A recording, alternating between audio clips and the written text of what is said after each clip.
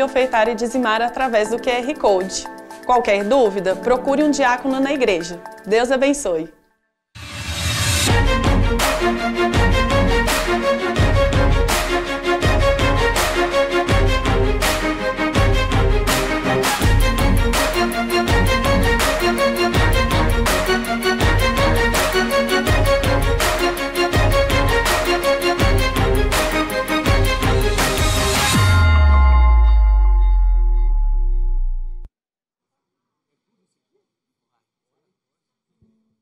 Glória a Deus. Boa noite, igreja. Graça e paz. Amém? Mais o cu da vitória. Abra sua Bíblia em Gênesis capítulo 21. Eu quero deixar dois versículos para a nossa meditação, começarmos esse culto. Glória a Deus. Gênesis 21, 18 e 19. Você pode até falar para o irmão do lado aí, essa palavra é forte. Não, é agora, calma, né? Essa. É agora, a palavra, você tem que descobrir a palavra primeiro. Olha aí, escuta aí. Ergue-te, levanta o moço e pega-lhe pela mão, porque farei dele uma grande nação. E abriu-lhe Deus os olhos e viu um poço de água. E foi-se e encheu o odre de água e deu de beber ao menino. Primeiro, ergue-te e levanta o moço. Fala com a pessoa do lado. Você se levanta e quando você se levanta, você tem autoridade para levantar alguém.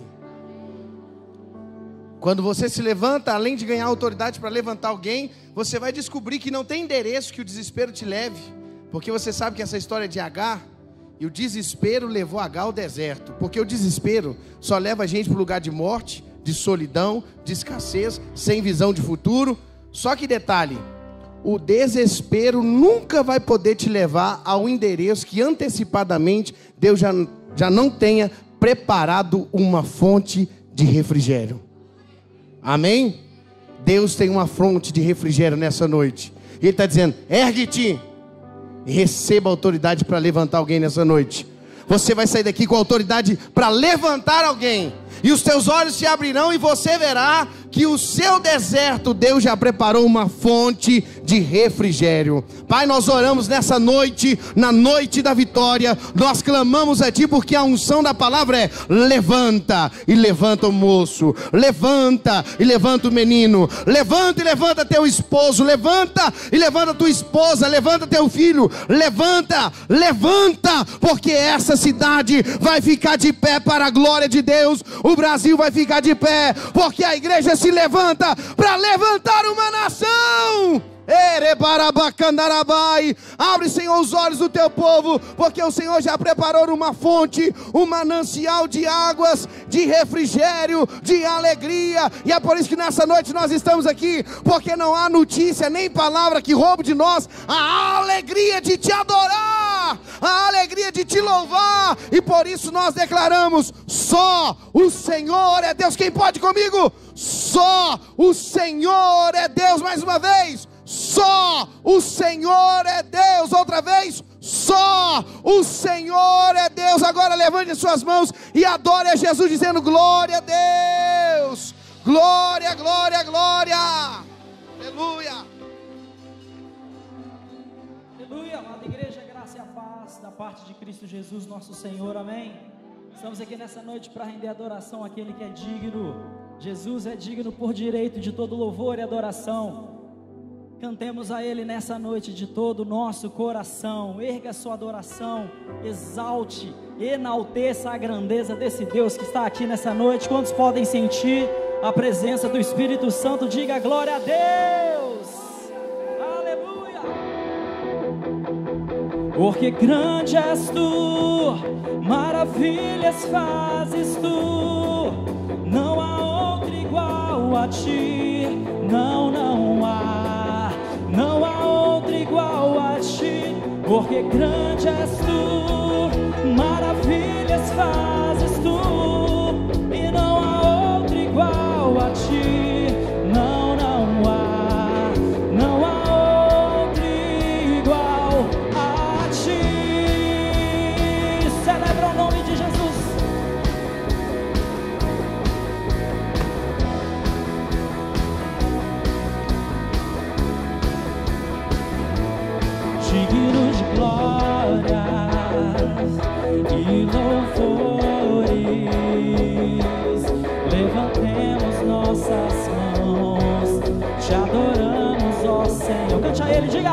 diga: digno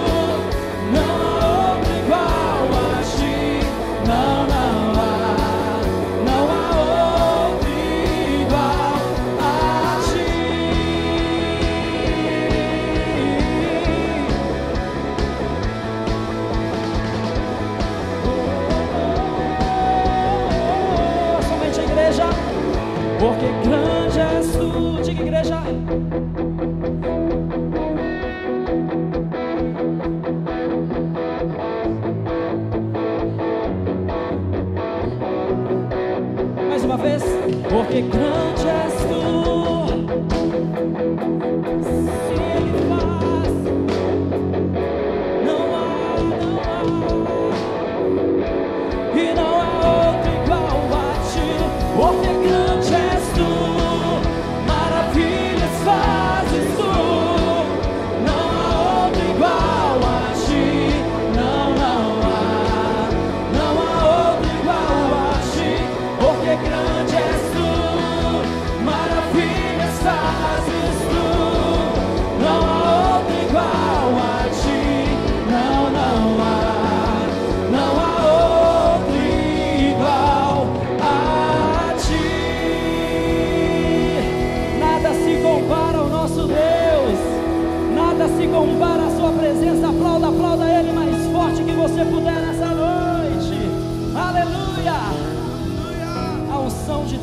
aqui neste lugar.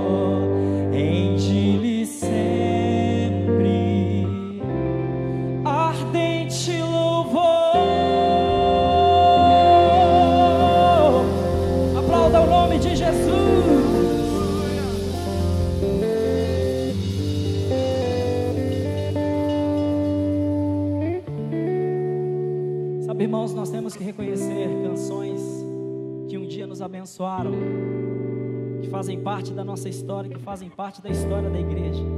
Existe uma canção que ela é de fato maravilhosa. Eu queria que nós cantássemos juntos ao Senhor nessa noite.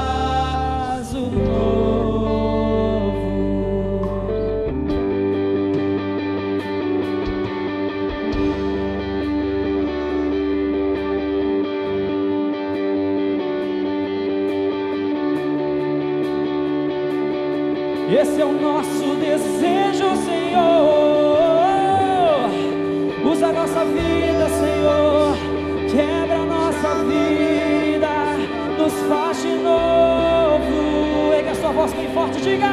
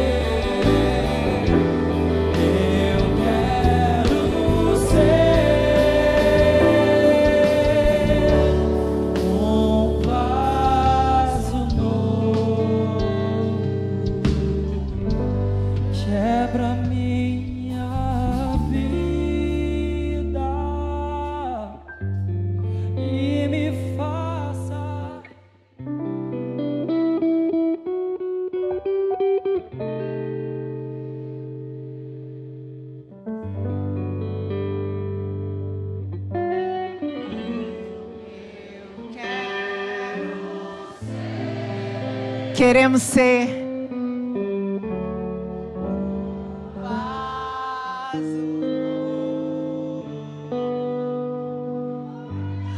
Quantos creem que estão sendo renovados pelo Senhor?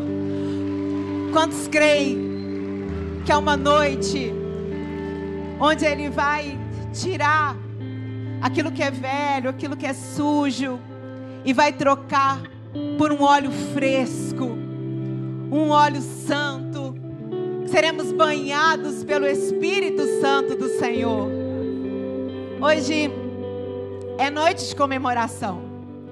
70 anos do nosso pastor Jorge Linhares e 40 anos de ministério dele aqui na Igreja Batista Getsemane. E nós escolhemos esses louvores para poder adorar ao Senhor, honrando a vida do nosso pastor e também pastores que foram pioneiros nessa nação, homens e mulheres que pregaram o Evangelho, homens e mulheres que testemunharam, que falaram do amor de Jesus, que iam para as praças, que enfrentavam multidões.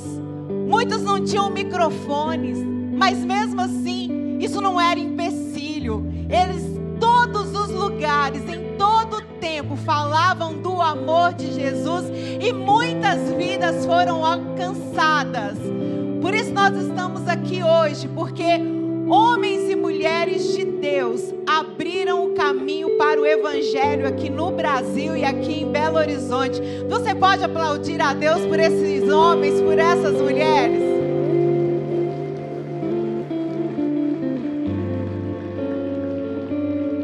Hoje nós estamos aqui com toda a liberdade para louvar e adorar ao Senhor. E esse é um momento muito especial no nosso culto culto da vitória. É o momento onde nós oramos pelo nosso país. Momento onde nós fazemos a oração da arca. E desde já consagramos os pedidos dos irmãos ao Senhor para que seja feita a vontade do Pai. Então eu queria convidar todos os pastores que estão aqui para virem até a arca.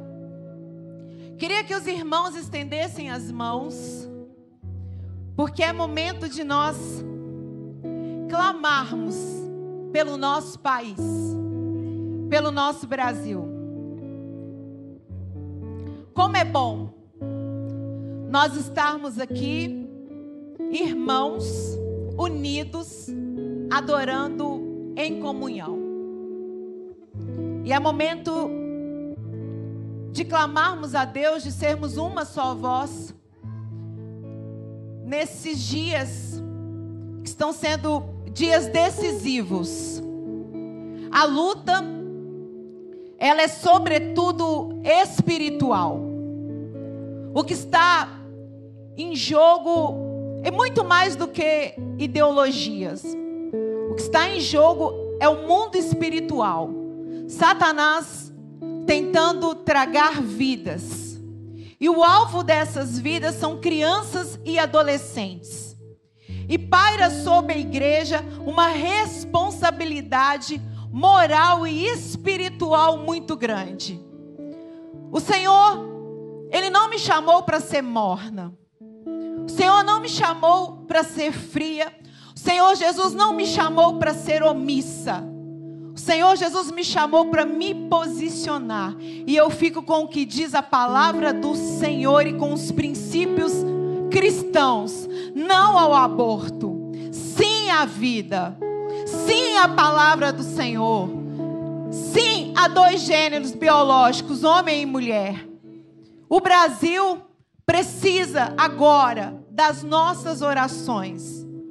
Todos os dias eu recebo pedidos de socorro de crianças e adolescentes. Semana passada uma adolescente escreveu: Pastora Dani, me socorre. Sou bolsonarista. E o professor falou na sala e apontou para mim e falou que bolsonarista deveria ser queimada. E os meninos da escola estão acendendo isqueiros no meu cabelo perto de mim. Essas adolescentes, esses adolescentes, Essas crianças são os adultos de amanhã e eles precisam agora do nosso clamor. Por isso eu te convido, igreja, para sermos corajosos, para sermos bravos, como os missionários 70 anos atrás foram nessa nação. Por isso vamos agora orar ao Senhor. Pai, é em teu nome, Senhor, que nós agora consagramos a Ti a nossa nação, o nosso Brasil e declaramos, Pai, que o Brasil é do Senhor Jesus.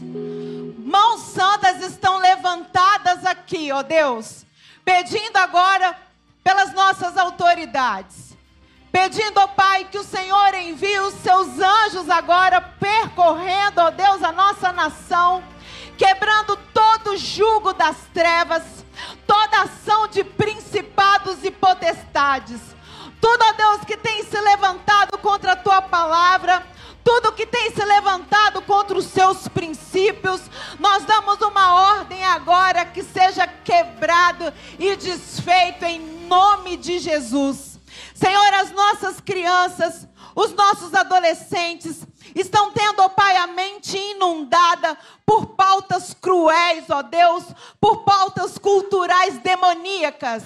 E nós, como igreja, não vamos nos acovardar. Nós, como igreja, somos fortes e corajosos, porque nós temos o Senhor que vai à frente do nosso exército. Então, desde já, nós damos uma palavra de vitória, ó Deus, para o nosso Brasil, para o nosso estado, para a nossa cidade. Que haja um recuo das trevas Senhor, aquilo que for necessário fazer, que o Senhor faça. Que o Senhor mova céus e terra. Pai, agora, Senhor, como igreja, representando Belo Horizonte, Minas Gerais e o Brasil, nós te pedimos perdão, Pai, pelos pecados da nação. Te pedimos perdão, ó Deus, pelos carnavais em Belo Horizonte te pedimos perdão, ó Deus, pela carnalidade. Te pedimos perdão, ó Pai, porque Belo Horizonte é considerada a cidade que mais tem bares no Brasil. Te pedimos perdão, ó Pai, porque muitas vezes somos omissos. Te pedimos perdão, ó Pai, porque nós carecemos da Sua misericórdia. Tem misericórdia de nós. Tem misericórdia, ó Deus, de Minas Gerais, de Belo Horizonte, porque aqui existe um povo que te ama. Existe um povo, ó Pai, que está pedindo que o teu sangue venha nos lavar e venha nos purificar de todo mal, tirando toda iniquidade, toda sujeira. E desde já nós declaramos que o Brasil é do Senhor, as nossas crianças são do Senhor, menino é menino, menina é menina, e Deus nunca erra. Glória a Deus, glória a Deus. Pode aplaudir ao Senhor. Aleluia. Toda terça-feira nós temos um grande. Pode se assentar, temos um culto da vitória aqui. E nós temos uma campanha. Olha aqui, o que ofereço a Deus e o que eu espero de Deus. É para a pessoa colocar dentro da Bíblia, porque muitas vezes a gente quer receber muito de Deus e oferecemos muito pouco. Pegue esse papel, ponha dentro da sua Bíblia ou coloque aqui nesta arca de oração. E cada terça-feira, no culto da vitória, estaremos orando, orando e clamando a Deus, tá? Então os conselheiros estão aí. Não só na terça-feira, né? Durante a semana, os nossos Durante pastores estão toda. subindo ao monte, estão clamando, levando Ai. os pedidos. É muito legal, gente. Nós temos três meses ainda para o final do ano. E muitas coisas certamente ainda irão acontecer, coisas boas. Quem espera alguma coisa boa ainda em 2022? Olha aí. Nós saímos aí de uma pandemia, de tantas, tantas lutas, tantos lares enlutados, tantos lares que perderam pessoas muito queridas. Então agora nós vamos tomar posse e colher a vitória. Deus abençoe cada um que perdeu um ente querido, conforte, né? E vamos caminhar juntos, comerciantes, a indústria, a, aqueles que, é, os estudantes, e vamos, em nome de Jesus, ter um ano maravilhoso. Já prepare-se para o Natal, prepare-se para decorar sua casa, sua igreja, porque o Natal é a maior festa do cristianismo. Significa que ele está vivo, ele ressuscitou. Amém? Glória a Deus, glória a Deus. E aí, vamos cantar? Tá com você aí, ó. Que mais? Já fiz a ceia, então ministra aí a ceia do Senhor. Agora é o momento da nossa ceia. Queria que os diáconos trouxessem aqui os elementos, onde nós vamos consagrar ao Senhor. Esse é mais um momento de gratidão a Deus. Não é um velório, é uma celebração de morte e ressurreição. Existe um livro que eu gosto muito, um livro muito antigo, que ele se chama Torturados por Amor a Cristo. É um relato de um pastor que foi um preso comunista. Ele foi preso pelos comunistas soviéticos. E juntamente com ele foram presos padres também. E eles sofreram muitas crueldades. E uma delas me marcou muito. Os soldados, eles, para debochar daqueles pastores e daqueles padres, eles pegavam fezes Preste atenção nisso, soldados soviéticos.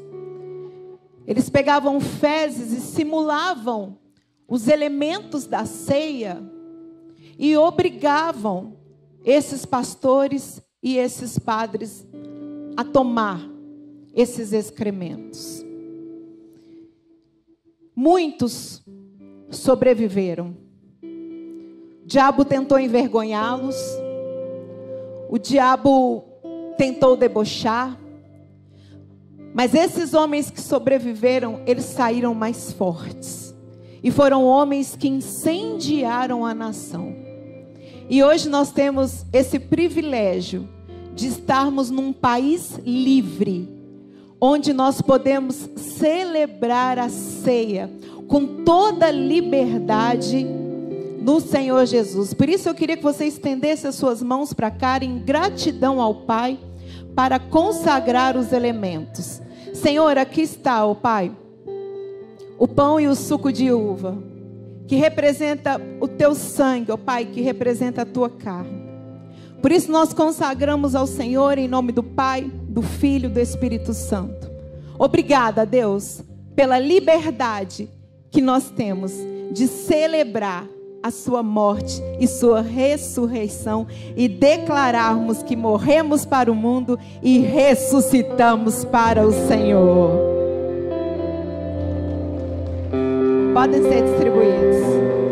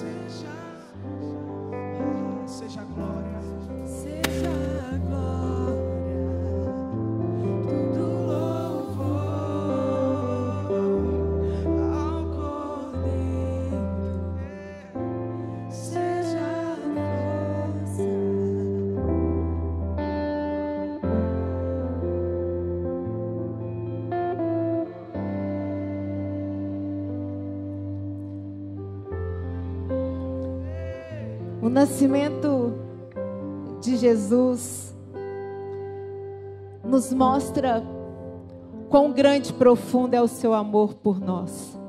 O Criador veio de forma imaculada através da criatura. Tudo por amor a mim e a você. Anda pela terra, passa pela cruz, morre e ressuscita. A cruz, ela nos aponta para a eternidade. A cruz nos dá um caminho, que é o caminho que nos leva ao Pai, que é Jesus, e que nos leva à vida eterna com Ele. É por isso que nós anunciamos morte e ressurreição. E é por isso que nós anunciamos que Ele ressuscitou até que Ele venha, quando estaremos frente a frente com Ele num grande banquete celestial. O pão simboliza a sua carne, que foi esmagada, que foi triturada por amor. Foi só puro amor. Um amor mais profundo. E assim diz a palavra do Senhor. Pois eu recebi do Senhor o que também vos entreguei. Que o Senhor Jesus, na noite que foi traído, tomou o pão. E logo após ter dado graças a Deus, o partiu e disse: Dê graças a Deus. Fala, graças a Deus, obrigada pelo sacrifício, ó Deus, que o Senhor fez por mim, que o Senhor fez por nós, que o Senhor fez pela nossa igreja. E após ter dado graças a Deus, ele disse: Isto é o meu corpo que é dado por vós. Fazei isso em memória de mim. Comamos todos em memória do nosso Jesus, do nosso Salvador.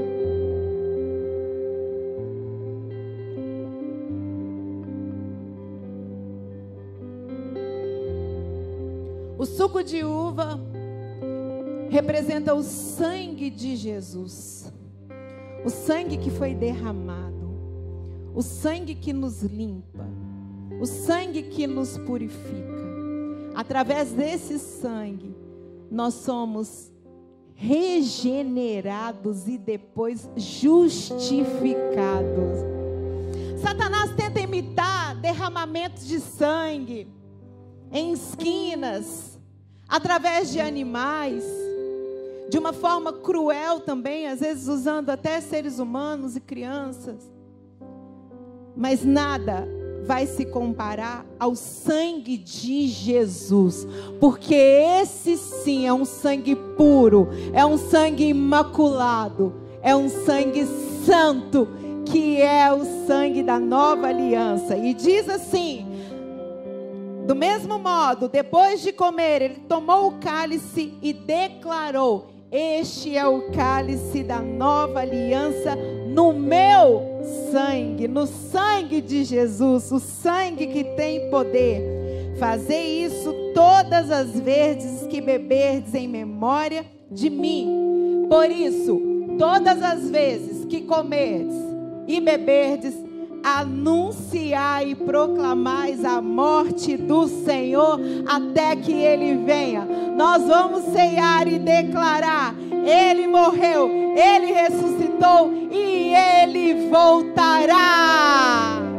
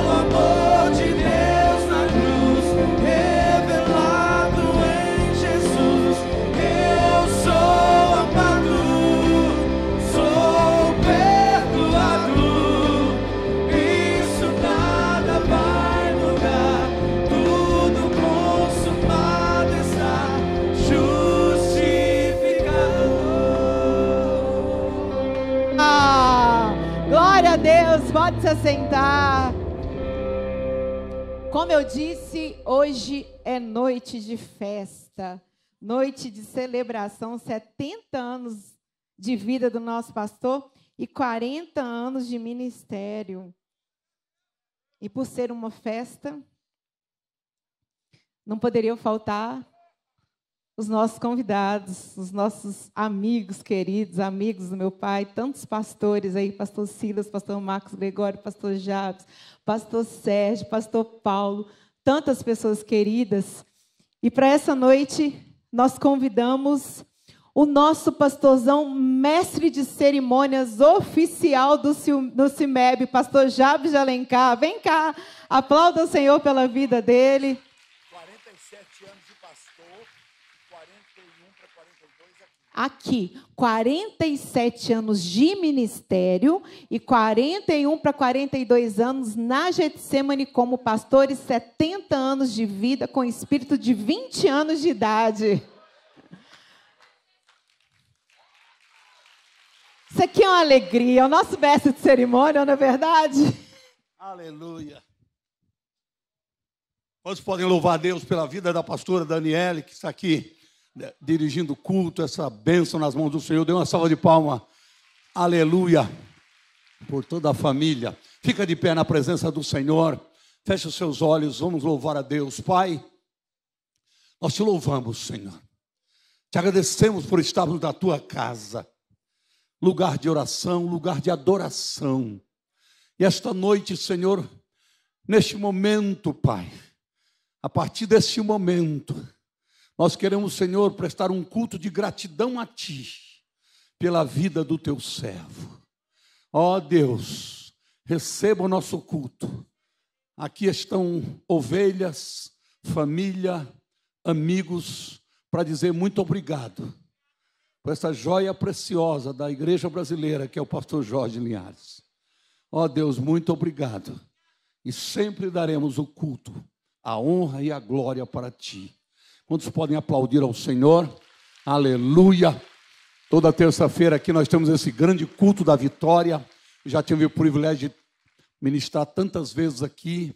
E a pessoa que vem aqui nunca sai como entrou. Se chegou alegre, sai mais alegre. Mas se chegou triste, vai sair alegre. Então, parabéns para você que veio aqui nesta noite, no culto da vitória, e toda terça-feira você precisa estar aqui. Amém? Diga que bom que você veio, cumprimenta três ou quatro, diga que bom que você veio, que bom que você veio, que bom que você está aqui. Glória a Deus. Aleluia. Aleluia. Uma placa não tem placa de silêncio. Então, se você em alguma hora tiver vontade da glória a Deus e aleluia, pode sentir liberdade. Principalmente daqui a pouco, quando teremos a mensagem com o pastor Silas. Tome seu assento. Aniversário do pastor Jorge e alguns amigos vieram, muitos outros não puderam vir, mas os que vieram, nós queremos louvar a Deus e dar oportunidade para eles também terem aqui uma palavra com relação ao aniversário, ao dia especial do pastor Jorge. Eu já vou começar aqui com o pastor Paulo, lá de Cruzeiro. Pastor Paulo é um amigo de muitos anos, sempre diz obrigado ao pastor Jorge, porque foi fonte de inspiração para o seu ministério. Vamos receber com uma salva de palmas, pastor Paulo. Glória a Deus. Boa noite a todos, na paz do Senhor Jesus. Eu conheci o pastor Jorge em 2001, no Congresso Fogo para o Brasil, e vim conhecer a igreja aqui logo em seguida, sentado num desses, era banco, e em 2005 eu vi numa conferência aqui chamada Congresso Segredo do Coração. Muitos pastores pregaram, pastor Jabes, pastor Silas, Aguiar Valvassouras, e eu vim para cá para passear. E voltei um pastor sem saber que era pastor, sem igreja, não fazia nada na igreja que eu pertencia em matéria de púlpito, mas eu me lembro de uma mensagem dele, a igreja no deserto, fogo para o Brasil. E em 2005 eu voltei, falei assim, eu vou começar uma igreja na garagem da minha casa. E ainda não tinha contato com o pastor Jorge. Aí eu vim aqui num congresso, conheci o Flamarione, não sei nem se ele lembra, foi no Segredo do Coração também. E o pastor Jorge foi na nossa cidade, contra a vontade dele, porque eu moro numa cidade chamada Cruzeiro. Mas ele foi e só falou que voltaria lá só depois que fosse chamar Galo. Mas não mudamos até hoje, mas ele vai lá. E uma coisa que me marcou muito foram cinco anos depois que eu estava com o ministério aberto, 2011. Eu e a minha esposa, nós sentamos, conversamos, falamos: faz cinco anos que nós estamos aí pregando evangelho e nós não temos assim um pastor. Se nós tivermos problema, nós vamos pedir ajuda para quem? Nós precisamos ter um pastor. E aí ficou aquela disputa na sala: Pastor Jabes, Pastor Silas e Pastor Jorge. Porque eram os que a gente conhecia. Com quem que a gente vai conversar? Aí oramos e Deus colocou em nosso coração muito carinho pelo pastor Jabes, que foi o que me ordenou, pastor Silas, que foi quando eu conheci grandes eventos no ano de 2000. E nós viemos aqui, eu, minha mulher e meus dois filhos. Viemos assistir um culto, fizemos uma surpresa para ele. E aí, depois do culto, ele nos atendeu e a gente conversou com ele. Falou: oh, Eu vim aqui conversar uma coisa com o senhor. A gente se conhece praticamente há 10 anos, mas de longe. E a gente está lá ganhando almas, mas não tem um pastor assim para você, para minha esposa ligar, falar que eu estou errado, pedir ajuda. Claro que ela não é louca de fazer isso. Mas tinha que ter, pelo menos na figura, brincando. E aí eu perguntei para ele, pastor, está aqui meus filhos, eram crianças ainda, minha esposa. O senhor não poderia ser o nosso pastor? Eu nunca mais esqueci a primeira frase que ele falou. Ele não falou assim, lógico que eu quero. Ele falou assim: é muito difícil, pessoas sem problema, sem crise, me pedir para ser seu pastor. Você é a primeira vez que vem aqui porque está tudo bem. E eu te conheço, é claro. Vamos orar aqui a partir de hoje. Sou seu pastor. Eu falei, senhor me empresta 20 mil? É porque. Estou brincando também. E ali a gente começou, venho aqui sempre. Ele vai lá, sempre me ajuda, sempre me atende.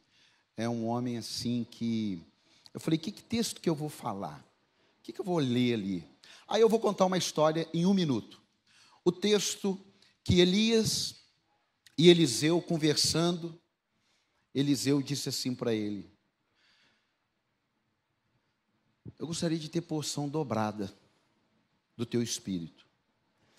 E, e Elias disse para ele: Se você me ver subir, não, não pedi isso em oração, não. Eu quero ensinar você um princípio que eu aprendi. Existem pessoas na nossa vida que a gente precisa ir com ela até o fim. Era isso que Elias estava dizendo para Eliseu: vá comigo até o fim. Que em nome do Senhor Jesus, nós sejamos essas pessoas que iremos com esse pastor tão abençoado, tão amoroso, Pastor Jorge, até o fim. Amém. Você pode dar um aplauso ao Senhor? Beijo no coração, Pastor Jorge, Pastorzão. Na sequência, já queria chamar aqui Pastor Ziel, lá de São João do Meriti. Vamos dar uma salva de palmas receber esse céu. Não é São João do Meriti, não. Hã? Queimados, é. Para quem não conhece o Rio, tá tudo tá valendo. Graça e paz vos sejam multiplicadas em Cristo Jesus nosso Senhor. Amém?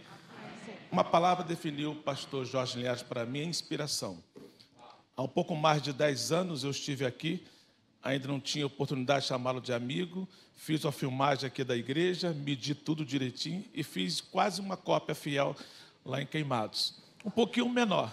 Essa aqui tem 55 por 27, a nossa tem 50 por 22 e falta fazer a galeria.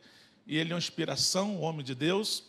Espera em Deus ser um pouquinho daquilo que ele é e representa para nós. Pastor Jorge Linhares, muito obrigado. Deus abençoe pela sua vida. Inspirador é o Senhor.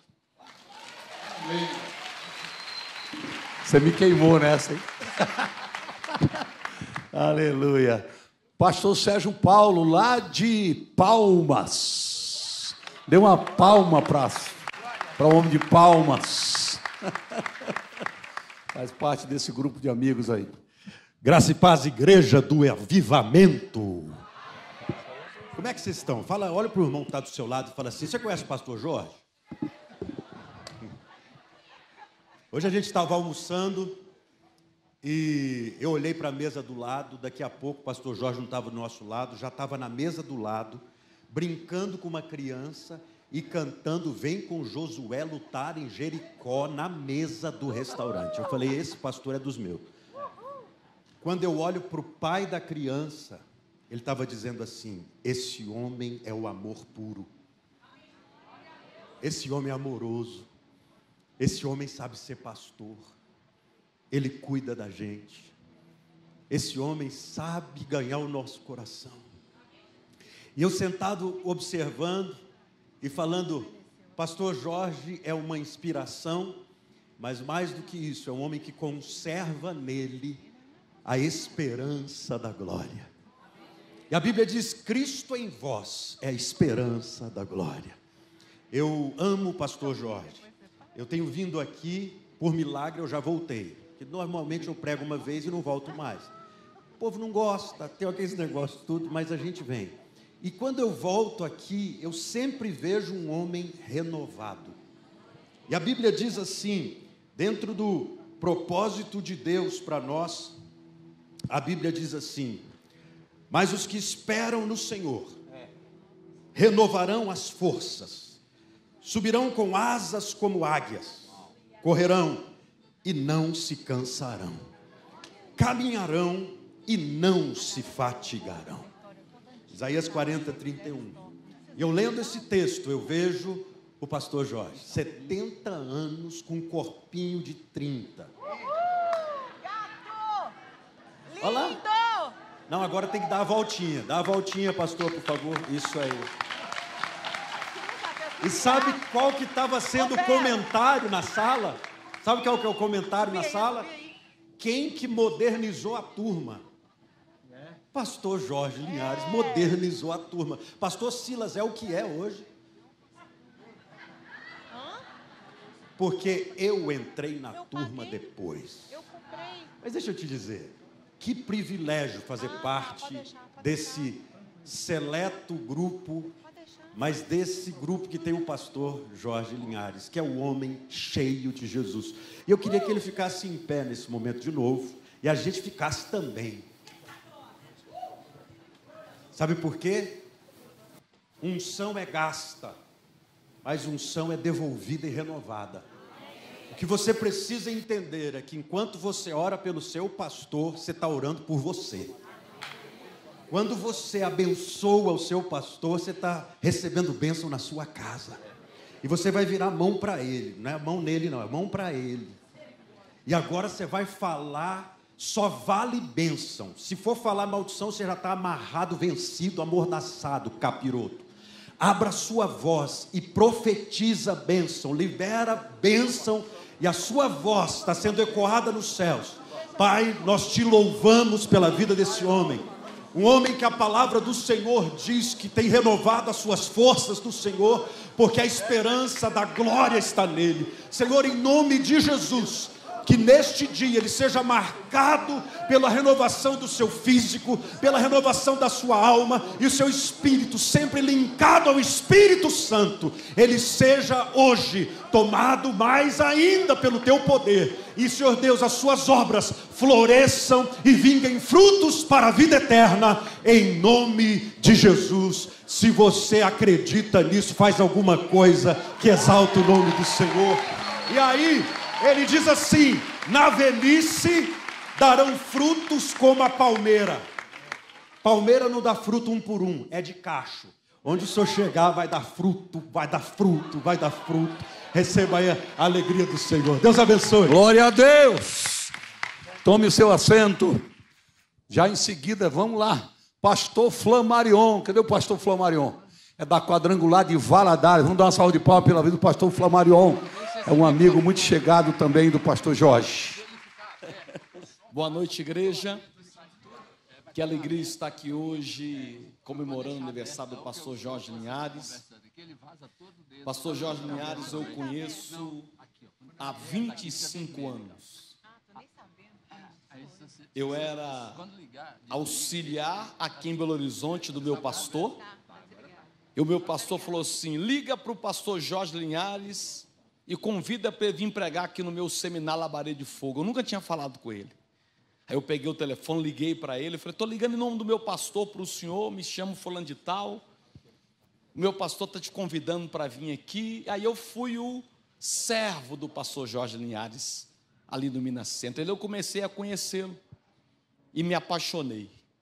Um homem feliz, um homem de visão, um homem que nos empurra para frente, que nos motiva, que nos fortalece. Ele é pastor de pastores, ele abençoa vários ministérios. Eu quero dizer para vocês que vocês são privilegiados de ter o pastor Jorge Linhares como pastor de vocês. Pastor Jorge Linhares, na minha opinião, apacentador igual ele numa igreja eu não conheço. O Senhor me inspira, pastor Jorge. Lá em Governador Valadares, o Senhor é bem lembrado nas minhas reuniões de pastores, principalmente. Eu vou deixar para o Senhor um versículo, está lá em Gênesis 49, 22. Que eu só vou trocar o nome do personagem, vou incluir o do Senhor. Lá diz José, mas eu vou falar Jorge Linhares. É um ramo frutífero. Ramo frutífero plantado junto à fonte cujos seus galhos se estendem sobre os muros. O Senhor está plantado na fonte chamada Espírito Santo que te rega 24 horas por dia. Os seus galhos se estendem sobre os muros, representa aquele pé de manga que está tão carregado de fruto que os galhos passam em cima do muro e alcançam o terreno do vizinho, ou seja, Até quem não é dono do pé de manga chupa da manga. Assim é o pastor Jorge Linhares. Quem está em volta dele desfruta da sabedoria, da graça e da unção que repousa sobre a vida dele. E o texto continua dizendo: os flecheiros lhe dão amargura, as lutas vêm, mas o arco do pastor Jorge Linhares permanece firme, pastoreando, profetizando, sendo boca de Deus. Nós te abençoamos, pastor, nesta noite, com toda sorte de bênção dos altos céus. Nós te amamos em o nome de Jesus. Tremendo. Nós recebemos de todo o Brasil felicitações para o pastor Jorge. Todo o pessoal do grupo Jorge, do nosso grupo de WhatsApp, está mandando uns parabéns para você aí. Jorge Linhares, essa figura extraordinária. É. Uma- ontem eu contei aqui que uma vez a gente estava no Rio Jordão. Eu estava tendo um problema que tinha que resolver com o pastor Silas Malafaia. A gente estava resolvendo um problema para ver quem ia batizar, quem não ia batizar. Quando a gente olhou, Jorge já tinha batizado a mulher. Foi uma benção. Os detalhes, quem estava quem tava aqui ontem ouviu, né? Quem estava aqui ontem ouviu por que foi o problema. Mas quando eu estou discutindo com o Silas dentro da água do Rio Jordão, a gente olha do lado, o Jorge já tinha batizado a mulher e resolveu o problema. É esse amigão querido. Contei também ontem aqui, Jorge, que você queria vender livro para os beduínos lá no Monte Sinai. Você lembra? Meu Deus do céu. Glória a Deus. Tem mais amigos querendo parabenizar o pastor Jorge. E tem um amigo que quer parabenizar pelo vídeo. Não sei se veio o vídeo desse amigo que quer parabenizar o pastor Jorge hoje. Se tiver, pode soltar esse vídeo aí. Nós vamos Olá, prezado pastor Jorge Linhares, os nossos parabéns por mais um dia né, que você comemora esse aniversário. Você tem um grande compromisso, a palavra de Deus perante o seu povo, sempre pregar a paz, a união, posição contrária ao aborto, contrária à liberação das drogas, contrário à ideologia de gênero. Ou seja, você é uma pessoa que é importante para todos nós. Então, meus cumprimentos, muitas felicidades e até um breve encontro nosso. Vou te dar um abraço muito especial por esse dia. Jorge Linhares, seja feliz, Deus te abençoe. Uau! Vamos ficar de pé mais uma vez, gente. Vamos ficar de pé mais uma vez. Aleluia. Que momento extraordinário. Momento extraordinário. Aleluia. Quando a autoridade máxima da nação presta uma homenagem a um pastor, num país que há anos atrás jamais isso poderia acontecer. Sabe por quê? Porque a igreja do Senhor Jesus está viva, está poderosa, está triunfante. E os homens de Deus estão sendo honrados nessa nação. Então, a Deus seja a honra, glória louvor. E o resumo de tudo, Jorge, é que todas as homenagens que se fizer para você ainda é pouco, pelo tanto que você representa para a igreja brasileira. Amém? Nós vamos cantar parabéns no final, mas eu quero cantar agora, porque eu estou dirigindo a reunião, eu canto a hora que eu quiser. Parabéns para você nesta data querida, muitas felicidades, muitos anos. Vem cá, Jorge, aqui em cima. Parabéns para você nesta data querida, muitas felicidades, muitos anos de vida. Happy birthday to you, happy birthday to you, happy birthday, dear George. Happy birthday to you.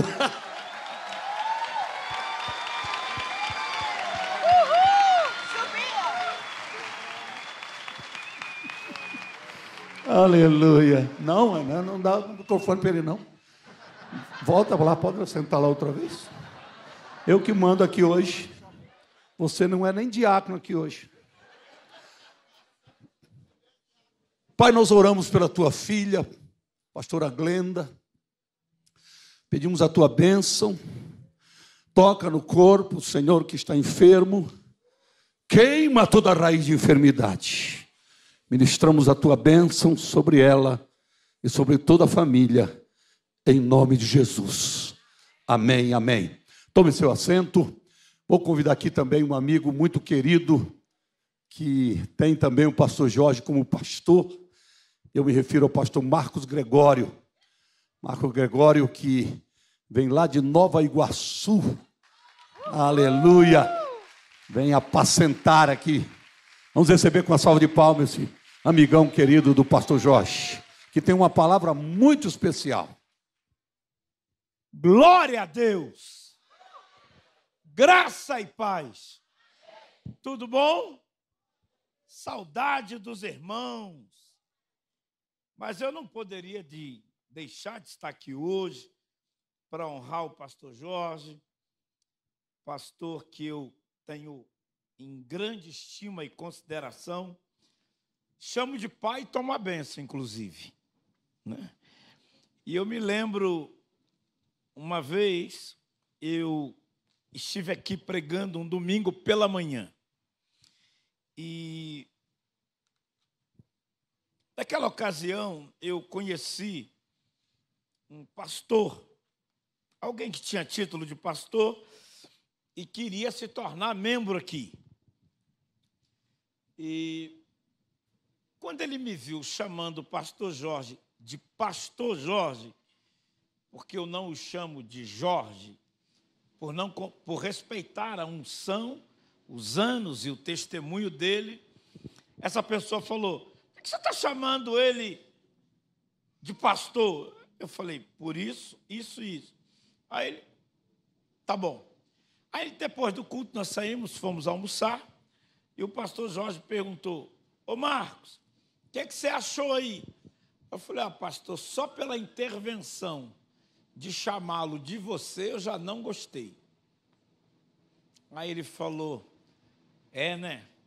Eu também achei que não é bem por aí, não, né? Eu falei, então, pastor, deixa partir. e graças a Deus partiu. Aleluia. Bendito é o nome do Senhor, né? Eu estou bastante feliz de poder estar aqui agora a gente tem um momento que eu considero extremamente especial. Há pouco foi dito aqui nesse altar, pastor Jorge Linhares está completando 70 anos de idade, 47 anos de ministério, 42 anos pastor desta casa, desta igreja local. E eu tenho certeza que a nossa presença, a nossa vinda, a vinda do pastor Sila, pastor Jabes, pastor Paulo, pastor Flamarion, de cada um de nós, óbvio, é uma forma de nós podermos honrá-lo. Porém, o que, a Bíblia diria para mim e para você nesse momento, para que nós pudéssemos honrá-lo? Essa e essa palavra é um resgate que ainda precisa ser feito pela igreja no Brasil. O texto que eu vou usar agora, ele se encontra em Gálatas, Gálatas, capítulo 6. E eu faço questão de repetir: 70 anos de vida, 47 anos de ministério, 42 anos pastoreando esta casa. E eu quero ler um texto que tem a ver com aquilo que eu e você vamos fazer dentro de cinco minutos.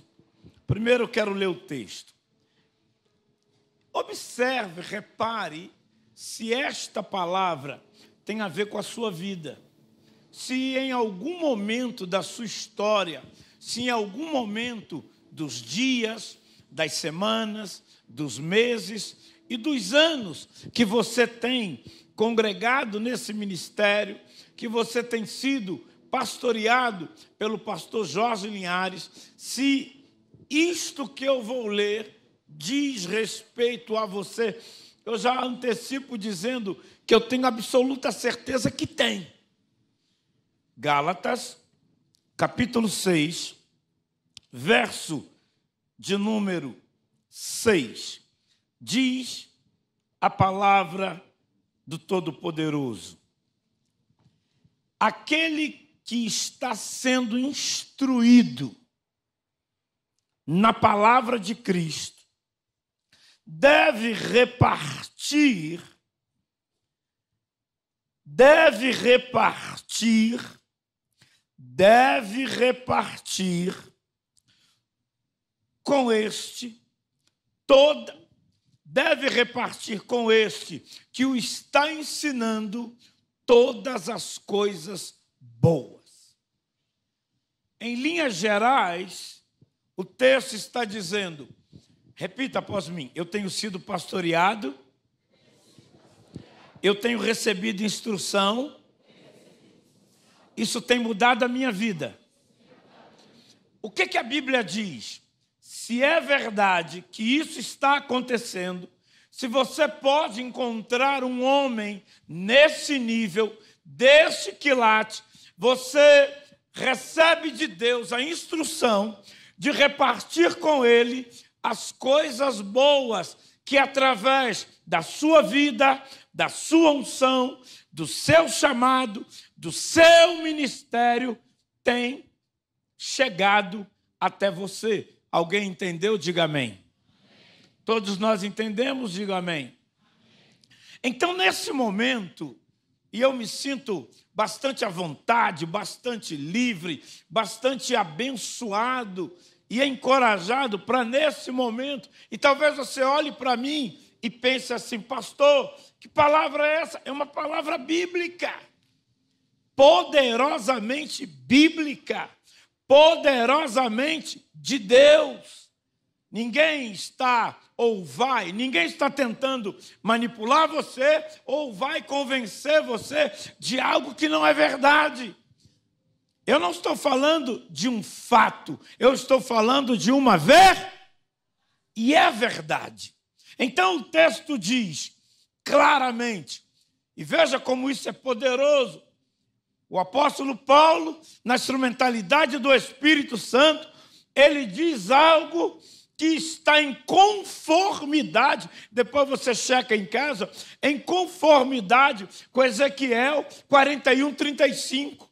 Em Ezequiel 41, 35 está escrito que toda primícia e o melhor da tua renda, da tua fazenda, entregue ao sacerdote, e então farás repousar uma bênção sobre a sua casa.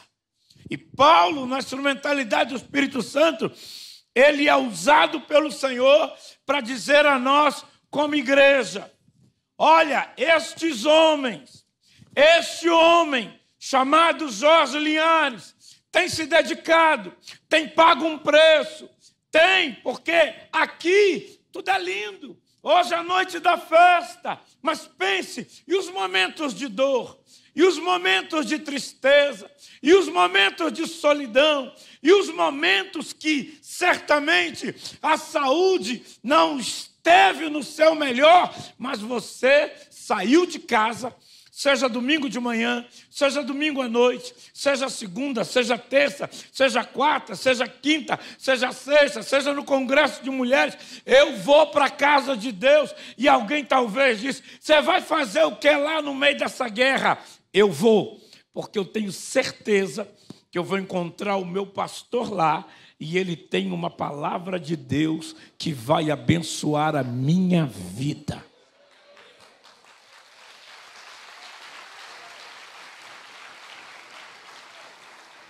Dá um glória a Deus. Foi assim ou não?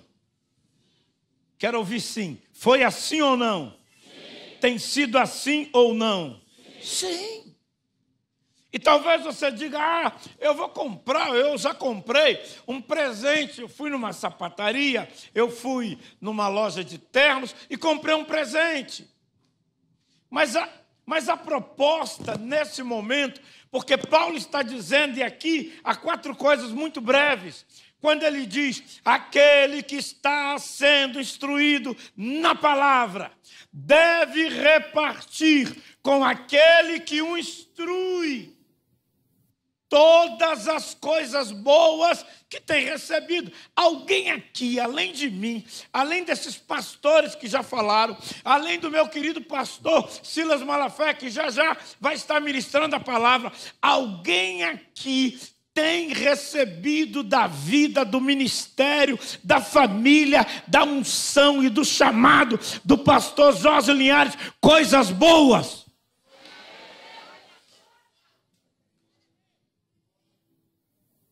Então Paulo está dizendo: se você está recebendo coisas boas, se você está sendo instruído, sua família estava um caos, mas a instrução que veio deste homem trouxe restauração. Alcançou seu filho. Seu negócio estava por um fio. Talvez você diga: Eu nunca conversei com o pastor Jorge Linhares. E eu vou dizer para você: Ok. Porém, todas as vezes que ele chegou neste altar e estendeu uma das mãos e profetizou, essa bênção alcançou a sua vida.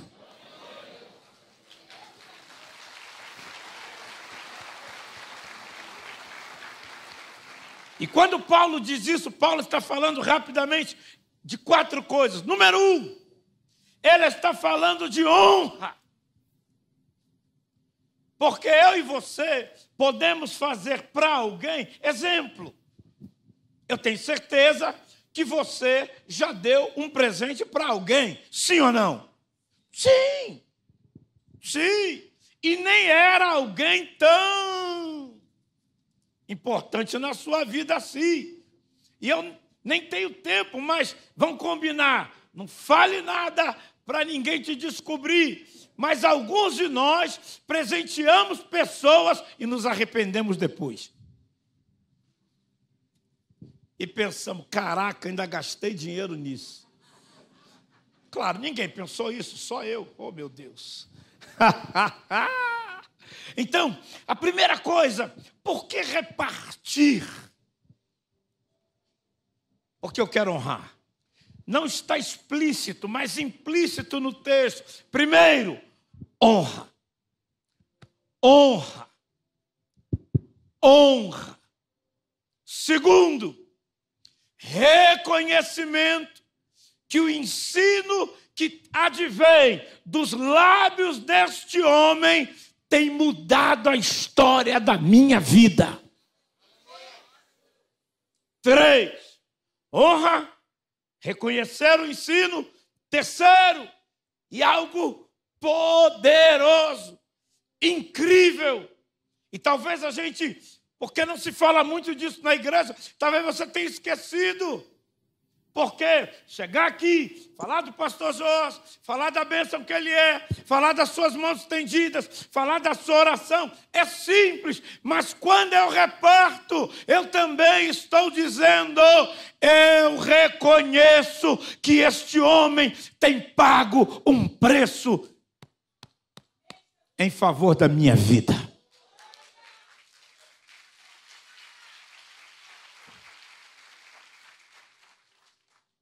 E quarto e último.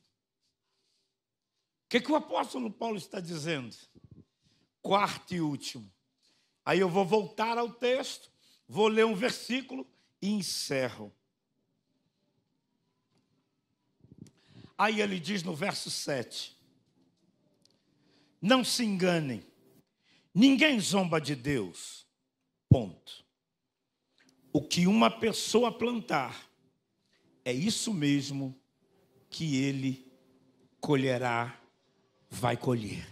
Olha para o seu irmão e fala para ele: quando você reparte com honra, parece que aquilo que você deu saiu da sua vida e você vai ficar sem. Fala para ele, mas isso é mentira do diabo. Diga, é mentira do diabo. Porque o texto a seguir diz: Você semeia e colhe.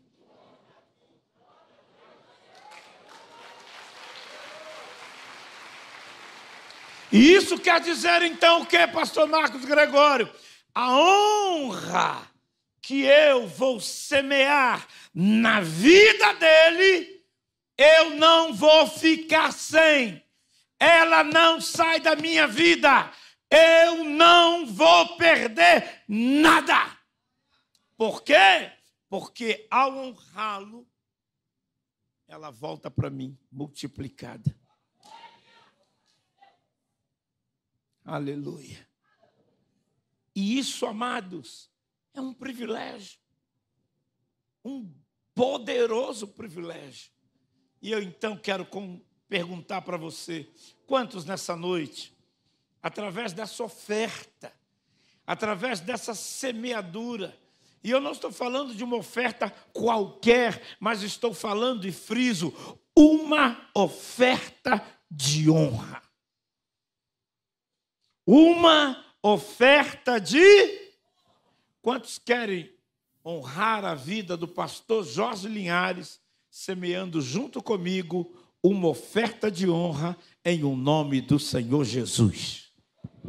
Aí você dá um aplauso.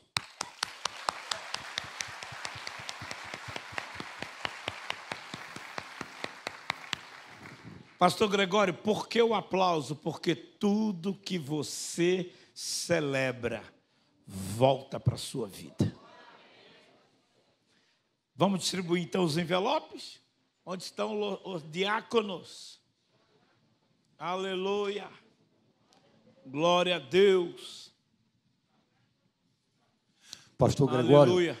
no- nos bancos já tem os envelopes, você pode apanhar o seu envelope aí e preparar a sua oferta especial de honra. Sim, nós também queremos orientar você Isso. que você pode colocar esta oferta especial no cartão de crédito, também pode colocar no Pix, que será identificado.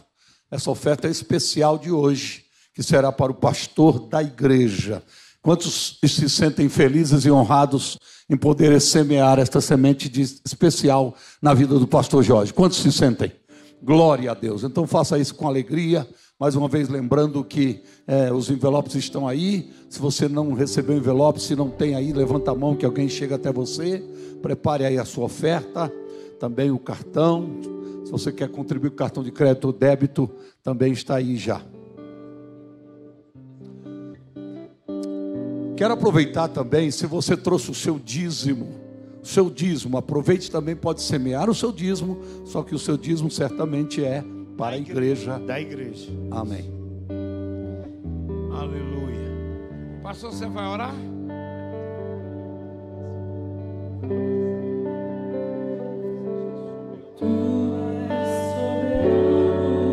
Sobre a terra, sobre os céus, tu és Senhor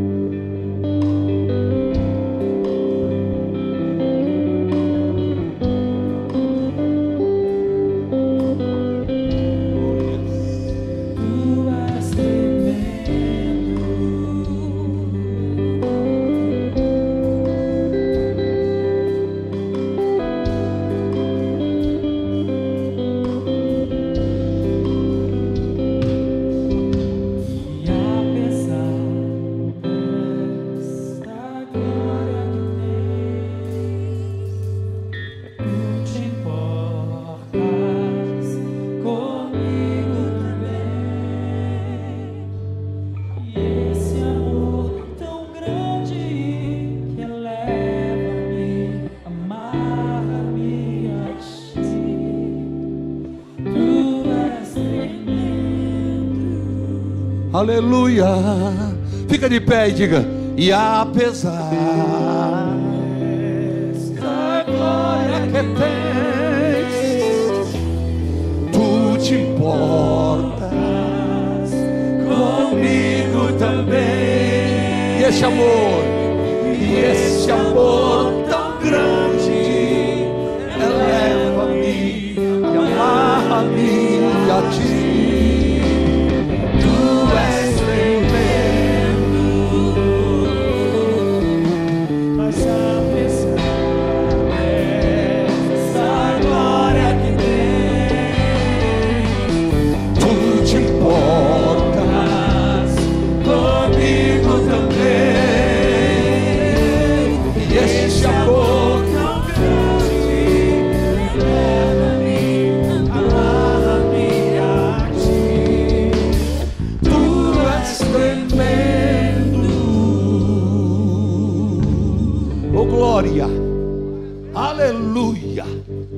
Salmo 29, 9 diz assim: No seu templo cada um diz glória.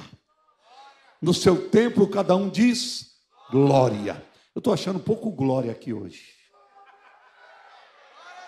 Você sabia que em Atos 12 está escrito que Herodes morreu porque não deu glória a Deus? Fala para quem está ao teu lado, se você não quiser morrer, começa a dar glória aí. Porque o bicho já tá para te pegar. Melhorou, melhorou. Pega na mão e vai apertando a mão. Só solta se der o glória, vai. Pega na mão e aperta. Agora, aê! Deixa eu pegar a sua aqui, deixa eu ver. Glória! e o diabo que morda a língua. Aleluia. Ele é hoje, sem dúvida alguma, a maior voz da igreja evangélica brasileira em defesa dos princípios, dos valores. Um homem que tem arriscado a vida, um homem que tem nas suas costas processos e processos, odiado no inferno, mas amado no céu e amado por nós. Um amigo que caminha junto com o pastor Jorge há tantos anos. E ele não poderia faltar aqui nessa homenagem de hoje. É uma alegria a gente receber para ministrar a palavra pastor Silas Malafaia. Vem cá, Silas, vamos recebê-lo com uma salva de palma, louvando a Deus pela vida do pastor Silas. Glória a Deus. Aleluia. A Deus a glória. Esse aqui que me deram, neguinho. Ela? É esse? Podem se assentar. Em primeiro lugar, a minha alegria está nessa igreja linda e abençoada. Segundo lugar, de estar aqui celebrando o aniversário de um amigo mais chegado que um irmão. É, há amigos mais chegados do que um irmão. E o pastor Jorge é um amigo mais chegado que um irmão. Muitas é, experiências, porque pastor Jorge tem uma experiência pastoral muito maior do que a minha. Ele é pastor de ovelha há muitos anos, muitos anos, dirigindo aqui a igreja há 42 anos e 47 anos como pastor. Eu sou pastor há 40 anos, mas sou pastor de igreja né, de 2010 para cá. Então, eu sou aprendiz do aprendiz de pastor. Né, dado a experiência do pastor Jorge, né, o conhecimento, o jeito. E como eu preguei muitos anos aqui como evangelista, né, eu comecei aqui o culto da vitória, que o pastor Jorge me chamou para fazer aqui. Fazia no pastor Jabes, em São Paulo, terça-feira aqui no Getsemane e quinta-feira na nossa igreja, que eu não era pastor. Então, eu, que era um evangelista, e muda muito você ser evangelista para ser pastor, porque evangelista vem, abre a Bíblia e prega, ó. Beijinho para todos. E o pastor segura né, para tratar, para abençoar. Mas olha que coisa interessante, eu pude, nesses anos e anos como evangelista pregando aqui terça-feira, observar né, o pastor Jorge tratar com ovelhas. Incorporei no meu ministério, quando eu passei a ser pastor, uma coisa que eu vi ele fazer aqui. É, ele sai no meio do povo, aperta a mão das pessoas, né? e eu incorporei isso. Eu muitas vezes na minha igreja eu chego, entro na igreja um pouco antes e aperto a mão de um, aperto a mão de outro, ou quando acaba o culto, fico meia hora no púlpito e aperto a mão de um, aperto de outro. Eu incorporei isso aprendendo com o pastor Jorge, né? aprendendo a, a lidar com pessoas. Né? Eu acho que existem coisas na vida que são legados que as pessoas deixam e que ninguém pode tirar, que ninguém pode é, negar. Eu tenho certeza absoluta que Pastor Jorge tem deixado um legado para a geração de pastores. Não vou nem falar de ovelhas, porque isso aí não tem nem graça, mas a geração de pastores, né, lá na frente, lá não sei quantos anos depois, vão lembrar que passou aqui um homem, um pastor, não perfeito, não. Nós não estamos aqui para dizer que pastor é perfeito. Não é perfeito, mas é um homem revestido de uma autoridade dada por Deus, com suas limitações e defeitos, onde, quando você bota na balança, tem mais virtudes do que defeitos. Aí sim.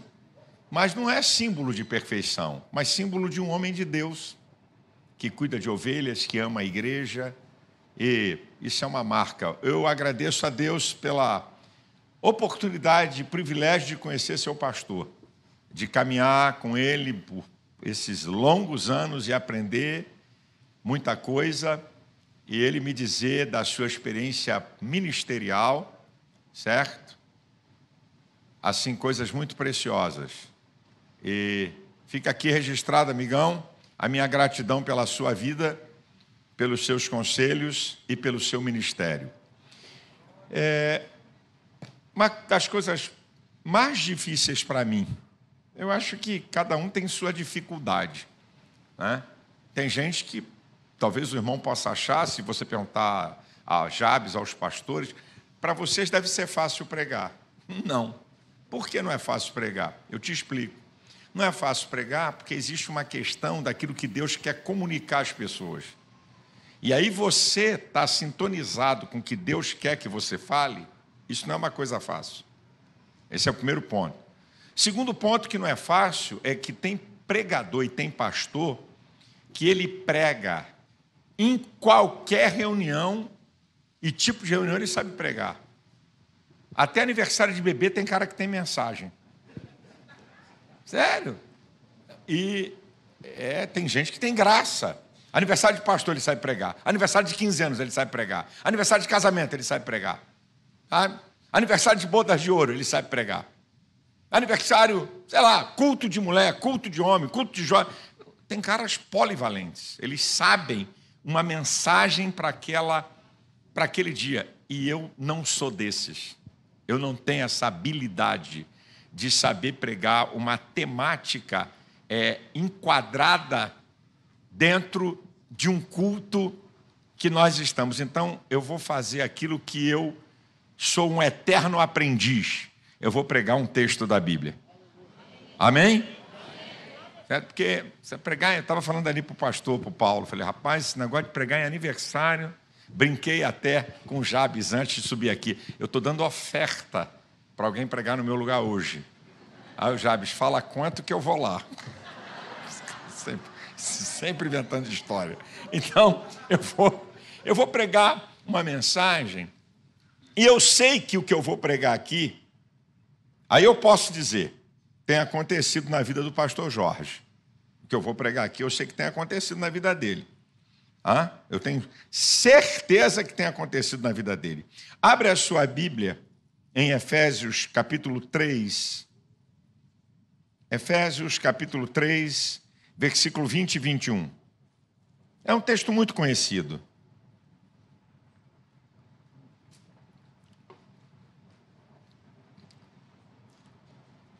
A epístola de Paulo aos Efésios, capítulo 3, versículo 20 e 21. Ora, aquele que é poderoso para fazer tudo muito mais abundantemente além daquilo que pedimos ou pensamos, segundo o poder que em nós opera, a esse glória na igreja, por Jesus Cristo, em todas as gerações, para todos sempre. Amém.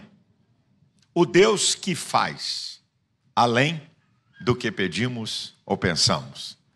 Eu tenho certeza que a história do pastor Jorge, se, ele, se eu desse o microfone agora aqui para ele, ele ia dizer um monte de coisa que ele nunca pensou na vida dele e que Deus fez. Que ele nunca pediu ou nunca imaginou. Eu tenho certeza. E eu queria trazer uma palavra sobre isso aqui. O Deus que faz além do que pedimos ou pensamos. Eu aprendi na minha, eh, no meu pequeno conhecimento teológico, né, e, e, na minha pequena experiência de pregador, que você precisa explicar às pessoas aquilo que você está pregando. Aqui nesse texto, está fazendo uma afirmação. Então eu tenho que explicar. Por que Deus faz além do que eu peço? É uma afirmação bíblica. Aquele que é poderoso para fazer além do que pedimos. Está fazendo uma afirmação. Então eu tenho que dizer para você, biblicamente, provar para você por que Deus faz além do que pedimos. Depois tem uma segunda afirmação, que é mais profunda ainda. Ele faz além do que pensamos. Então eu tenho que te explicar como é que é esse negócio, um Deus que faz além do que pensamos, que é muito mais profundo e mais extenso do que pedimos. Porque pensar, você tem uma faculdade na sua mente chamada imaginação, a capacidade de criar imagens. Então, eu posso estar aqui, aqui, e aqui na minha mente, eu estar 10 anos na minha frente. Eu posso ter entrado no curso de medicina hoje, e aqui na minha mente, me ver fazendo uma cirurgia 10 anos na frente. Então, a questão de pensar é maior e mais profunda do que de pedir. E a Bíblia faz uma afirmação categórica Aquele que é poderoso para fazer além do que pedimos ou pensamos. Então eu vou responder isso aqui para você. E também a Bíblia está dizendo que ele é poderoso. Porque ele pode fazer além do que pedimos ou pensamos. Eu vou responder a essas afirmações da Bíblia. Então vamos lá. Número um. Por que Deus faz além do que pedimos? Primeiro, primeiro, Deus faz além do que nós pedimos por quê? Porque não sabemos pedir o que convém. Romanos 8, 26 diz que, por não sabermos pedir o que convém, o Espírito intercede por nós com gemidos inexprimíveis.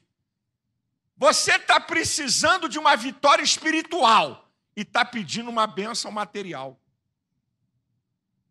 Você pede coisa que não é da prioridade real da tua vida. Então, Deus faz além do que pedimos, porque muitas vezes eu não estou pedindo realmente o que eu preciso. Por que Deus faz além do que eu peço?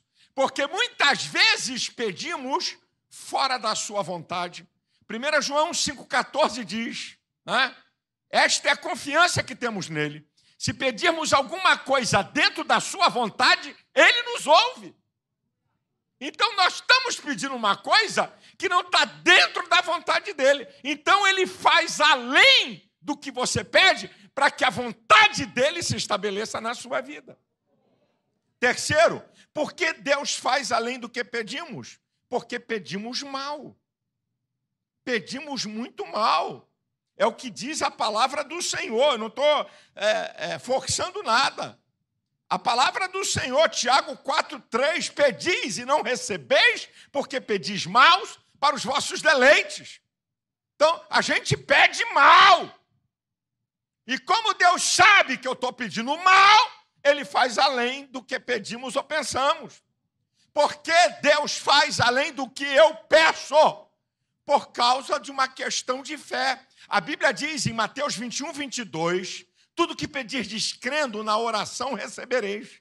Marcos 9, 23, se tu crê, tudo é possível que crê. E aí, muitas vezes, eu não tenho a fé suficiente para pedir algo e Deus sabe que eu preciso e Ele faz além do que eu peço. Porque Deus faz além do que nós pedimos? Por causa da nossa mediocridade. Mediocridade em quê, pastor? Eu te digo. Primeiro, em relação ao próprio Deus. Mateus 22, 29 diz: Errais por não conheceres as Escrituras, nem o poder de Deus. Somos medíocres na dimensão de quem é Deus. E Deus sabe. Então, Ele faz além do que pedimos. Por quê? Por que Deus faz além do que nós pedimos, porque é da nossa mediocridade? Porque muitas vezes nós não temos noção nem de quem nós somos. A Bíblia diz em Gênesis capítulo 1, não é? versículo 26, 27, 28, que nós somos a coroa da criação de Deus. Façamos o homem a nossa imagem e semelhança só para Deus. E você pensa que você é uma coisa qualquer. 1 Pedro 2, 9 e 10 diz: Vós sois a geração eleita, o sacerdócio real, a nação santa, o povo adquirido para anunciar as virtudes daquele que vos chamou das trevas para a sua maravilhosa luz. Vós que em outro tempo não eres povo, agora sois povo de Deus, que não tinhas alcançado misericórdia, agora alcançaste misericórdia. Você é povo de Deus, nação santa, geração eleita. E você não tem a dimensão de quem você é. E Deus, por causa disso, Ele faz além do que pedimos. Gálatas 4, 7 diz: Vocês já não são servo. Vocês não são servo. E se vocês não são servo, vocês são herdeiros de Deus por Cristo. Olha o que é que você é. Olha quem você é. 2 Coríntios 5, 20, 21 diz que somos embaixadores da parte de Cristo.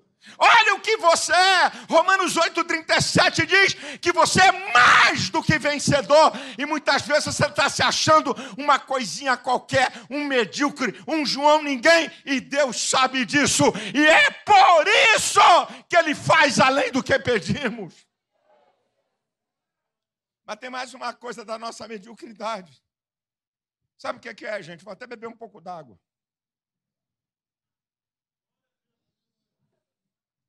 Sabe o que é? É que muitas vezes nós queremos a teologia da desgraça e não a teologia da prosperidade. Deixa eu dizer uma coisa: existe o besterol da prosperidade, existe a teologia da prosperidade.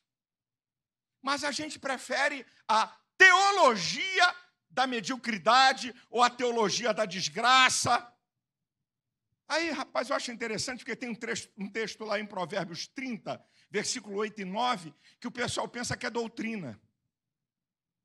Não me dê nem a riqueza, nem a pobreza. Me dá a minha porção acostumada. Me dá o meu angu e feijão tropeiro de sempre. Hã? Meu irmão, problema é seu, eu quero é mais. E eu acho engraçado que o cara está doido por dindinho. Não, Senhor, me dá minha porção acostumada. Que eu estou aqui atrás de porção acostumada, rapaz. Isso é problema do cara que disse isso. Isso aqui não é doutrina da Bíblia, não. Eu não quero nem a riqueza, nem a pobreza. Me dê a minha porção acostumada. Que porção acostumada, coisa nenhuma? Eu quero é mais, porque o meu Deus é rico, eu, Deus pode fazer, Deus pode abrir porta, Deus pode te abençoar. Então, eu pergunto a vocês, por que tem na Bíblia o Salmo 112?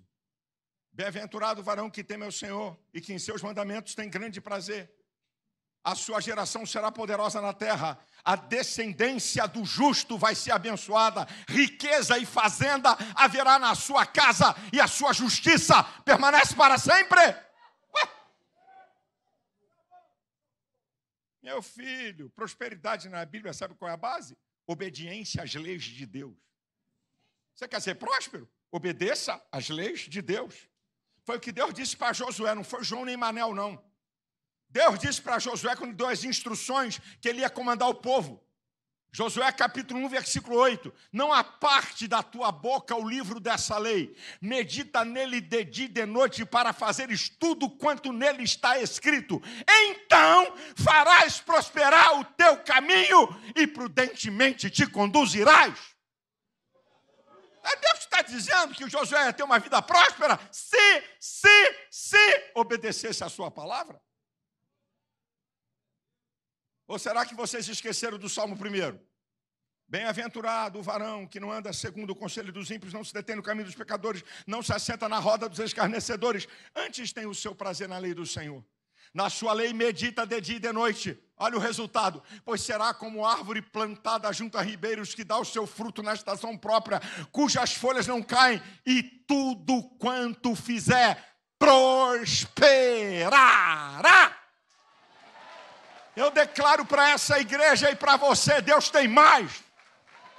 Deus é o dono do ouro e da prata, meu irmão. Isaías 45, 5 diz que ele possui os, os tesouros da escuridade e as riquezas escondidas. Aí eu vou citar aqui meu amigo Cláudio Duarte. Cláudio Duarte aqui diz: Abraão era rico, obedeceu a Deus, ficou mais rico. Davi era um Zé Ruela, filho de família pobre, se tornou um rei bilionário. Quando chega a minha vez, eu não posso. Ah, vai ver se eu estou na esquina, estou com ele. E outra coisa que é engraçado, rapaz, isso já ouvi de Dr. Mike Murdock. Rapaz, Salomão pede sabedoria e Deus dá riqueza. Se riqueza fizesse alguém se desviar e ir para o inferno, o diabo dava riqueza para todo mundo. Não é riqueza, é amor à riqueza. Isso é conversa fiada, gente. Quem deu riqueza para Salomão foi Deus. Quem deu para Abraão foi Deus. Quem deu para Davi foi Deus. Então, Deus faz além do que eu peço, porque Ele sabe que muitas vezes eu sou medíocre. Agora, o texto vai dizer uma outra coisa. Aquele que é poderoso para fazer além do que pedimos ou pensamos. E pensar é um negócio, como eu te falei, incrível. Porque você pode ser transportado na capacidade de imaginação, a capacidade de criar imagens. Você pode ser transportado para qualquer tempo futuro da sua vida. Você está morando numa casinha chumbreca alugada. E aqui na mente você já passou num condomínio, viu um terreno vazio e já viu a sua casa coisa que vai acontecer daqui a 10, 15 anos. Agora, como é esse negócio? Deus faz além do que eu penso. Agora, preste atenção que eu vou te falar. Por que Deus faz além do que eu penso? A maneira que nós pensamos está relacionada com isso. Preste atenção. As impressões do mundo externo que nós tiramos através dos sentidos do corpo, introjetamos na nossa mente, vontade e sentimentos. Os sentidos do corpo, visão, audição, tato, olfato, paladar, a nossa alma tira impressões do mundo externo através dos sentidos do corpo. Isso é um elemento que vai determinar a maneira que você pensa. Como você vê, o que, é que você escuta, que, que você percebe. Um outro dado, o seu caráter. Caráter é um conjunto de atributos morais, intelectuais e espirituais que nos definem como pessoa e determinam nossas escolhas e atitudes. O seu caráter é mais um elemento que vai determinar a maneira que você pensa. Um outro elemento que determina a maneira que você pensa. Sua personalidade. O que faz você ser diferente de qualquer pessoa é a soma do caráter Personalidade é a soma. Soma-se caráter, soma-se temperamento e inteligência. São essas três coisas que formam a sua personalidade, que o torna diferente das pessoas. Então, a sua personalidade também é um fator que vai determinar a maneira que você pensa. Terceiro, o conhecimento que você adquire vai determinar a maneira que você pensa. Quarto, as informações que você recebe vai determinar a maneira que você pensa. Quinto, a influência de outras pessoas sobre você. Né? O Datafolha e o IPEC disse que um cara ia ganhar no primeiro turno. Né? E muita gente foi influenciada e que gosta de votar em quem vai ganhar e votou onde não devia, mas isso é outro assunto. Eu só estou aproveitando aqui. Mas para dizer para você. Outra, como é que você pensa combinação de fatos ou de informações ou de conhecimento? Isso tudo aqui vai determinar como você pensa. Agora preste atenção. O seu pensamento pode estar errado. Por quê? Porque você tem dados errados, informações erradas, informações incompletas. Então você pode estar pensando uma coisa de maneira errada. O seu pensamento é limitado, porque você não tem o domínio de todo o conhecimento. E por você não ter o domínio de todo o conhecimento, você pode não ter todo o conhecimento necessário para pensar correto. Por causa disso, Deus faz além do que pensamos. Agora tem uma outra pergunta para responder. Parece que é, não tem importância, mas é importante. Pode ter algum amigo aqui que precisa ser essa informação, receber, pessoas que estão pela internet. Por que Deus faz além do que pedimos ou pensamos? É o óbvio. Porque Ele é Deus, indica soberania absoluta sobre todas as coisas. O Salmo 115, versículo 3 diz que o Senhor está nos céus e faz tudo o que lhe apraz. O Salmo 103, versículo 19 diz que o Senhor tem estabelecido o seu trono nos céus e o seu reino domina sobre tudo. O Salmo 83, versículo 18 diz que só ele possui o nome Jeová e que é altíssimo sobre a terra. Isso é, aquele que opera, que vai continuar operando, aquele que fez, que faz e vai continuar fazendo e que ninguém pode impedir.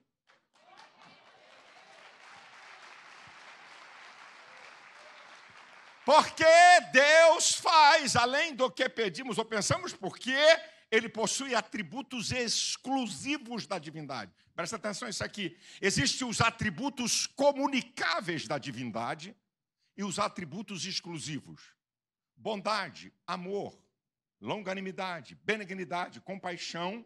São atributos de Deus que ele comunicou ao homem. Agora, existem os atributos incomunicáveis da divindade: onipotência, onisciência e onipresença. Só Deus tem. Esses chamados os atributos incomunicáveis da divindade. Então, Deus, ele tem todo o poder.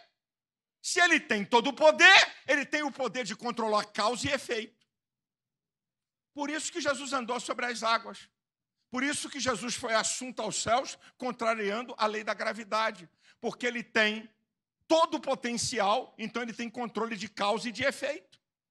Isaías 45, 12 diz: Eu fiz a terra e criei nela o homem. Eu, o Senhor, fiz todas essas coisas e as minhas mãos, olha que coisa linda, estenderam os céus.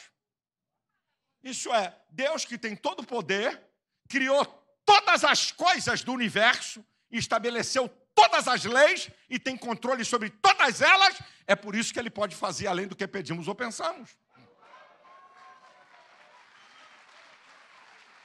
Ele faz além do que pedimos ou pensamos, porque ele também tem um atributo chamado de onisciência. O Deus que conhece tudo.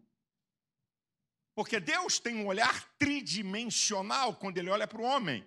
Deus olha mente, vontade e sentimentos, por isso que ninguém engana Deus. Então, Deus sabe exatamente o que você precisa, o que você passa. Ele tem o domínio de conhecer tudo. Por isso que Hebreus 4,13 diz que não há nada encoberto diante dele, todas as coisas estão nuas e patentes aos olhos daquele com quem temos de dar conta. E Daniel 2,22 diz: Ele conhece o profundo e o escondido, ele conhece o que está em trevas e com ele mora a luz.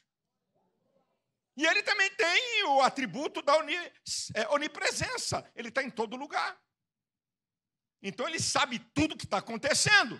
Provérbios 15, 3 diz que os olhos do Senhor estão em todo lugar, contemplando maus e bons. Agora, queridão, olha que coisa interessante. O Deus que faz além do que pedimos ou pensamos.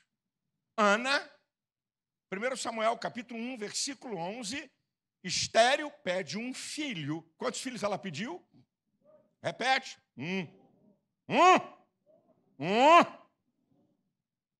Quantos filhos Deus deu a Ana? Capítulo 2, versículo 21. Além de um, recebeu mais cinco.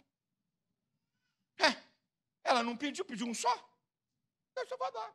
O que eu dou além do que você pede, do que você pensa. Já falei aqui, já falei aqui acerca de Salomão. Ele pede sabedoria e Deus dá duas coisas que ele não pede. A gente fala de uma, mas eu deu duas: riqueza e glória. A pessoa pode ter riqueza e pode não ter glória. A pessoa pode ter glória e não ter riqueza. Deus deu riqueza e glória. Vai lá no texto para você ver. Ele não pediu. Agora, queridão, olha que sensacional é para você receber de força. Qual é a maneira que Deus faz? Isso aqui é sensacional. Isso é profético para você? Para a igreja? Para a vida do pastor Jorge? Aquele que é poderoso para fazer tudo. Primeira dimensão que Deus faz: completa. Completo. Deus não deixa nada pela metade. Deus não dá algo para faltar. Deus, quando faz, faz de maneira completa. Se Deus disse que vai fazer alguma coisa na tua vida, não tem capeta, não tem homem, não tem governo, não tem ninguém. Deus vai fazer de maneira completa. Segunda dimensão que Deus faz, a régua vai subir. Aquele que é poderoso para fazer tudo, completo, mais abundantemente, com sobra.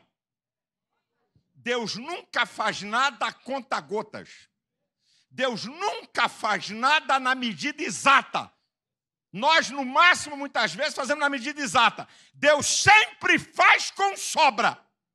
Deus não é mesquinho, Deus não é miserável. Quer te abençoar? Vai sobrar.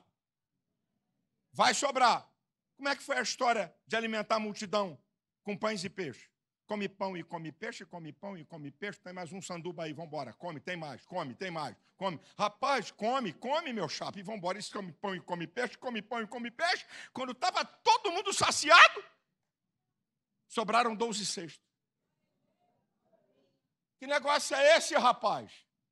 Que Deus faz na conta gota, Deus faz completo, Deus faz com sobra e a régua vai subir mais uma.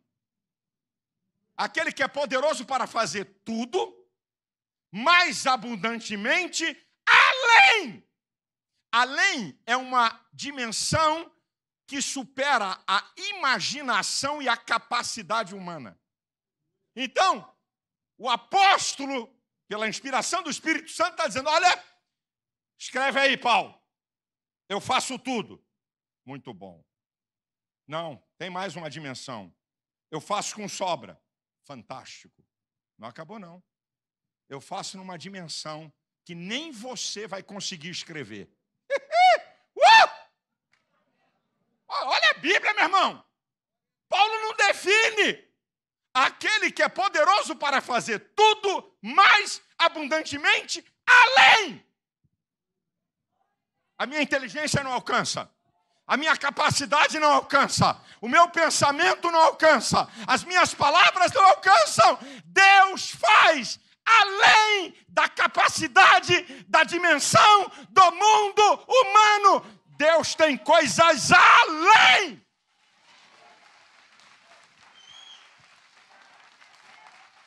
Então, Deus faz tudo, mais que tudo e infinitamente mais que tudo. Tem irmão que acho que não gostou, eu vou repetir.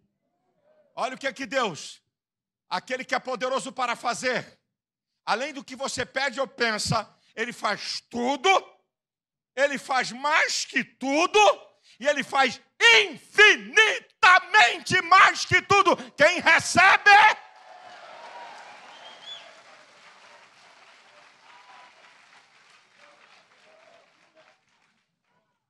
Já estou caminhando para o final. Aí escute. Eu dei aqui a explicação porque Deus faz além do que pedimos ou pensamos. Mas eu posso te dar alguns motivos. Porque Deus faz além do que pedimos ou pensamos.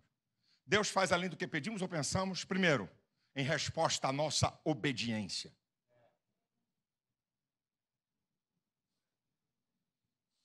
Me diz aqui na Bíblia, onde é que tem o texto que Abraão pediu a Deus mais riqueza?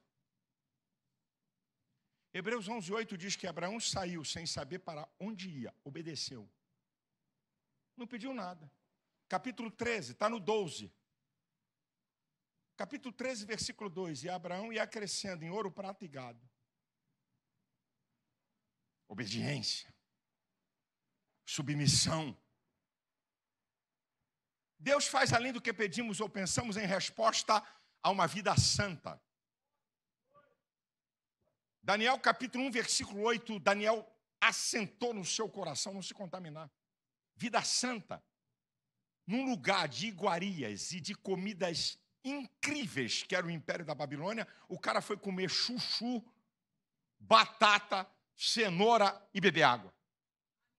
Agora, em resposta à santidade de Daniel, é só você ler o versículo seguinte, que é o 9. E Deus deu a Daniel. Deus quis dar graça diante do chefe dos eunucos. E no versículo 17, Deus deu a Daniel revelação e conhecimento em visões e sonhos. Resposta à santidade.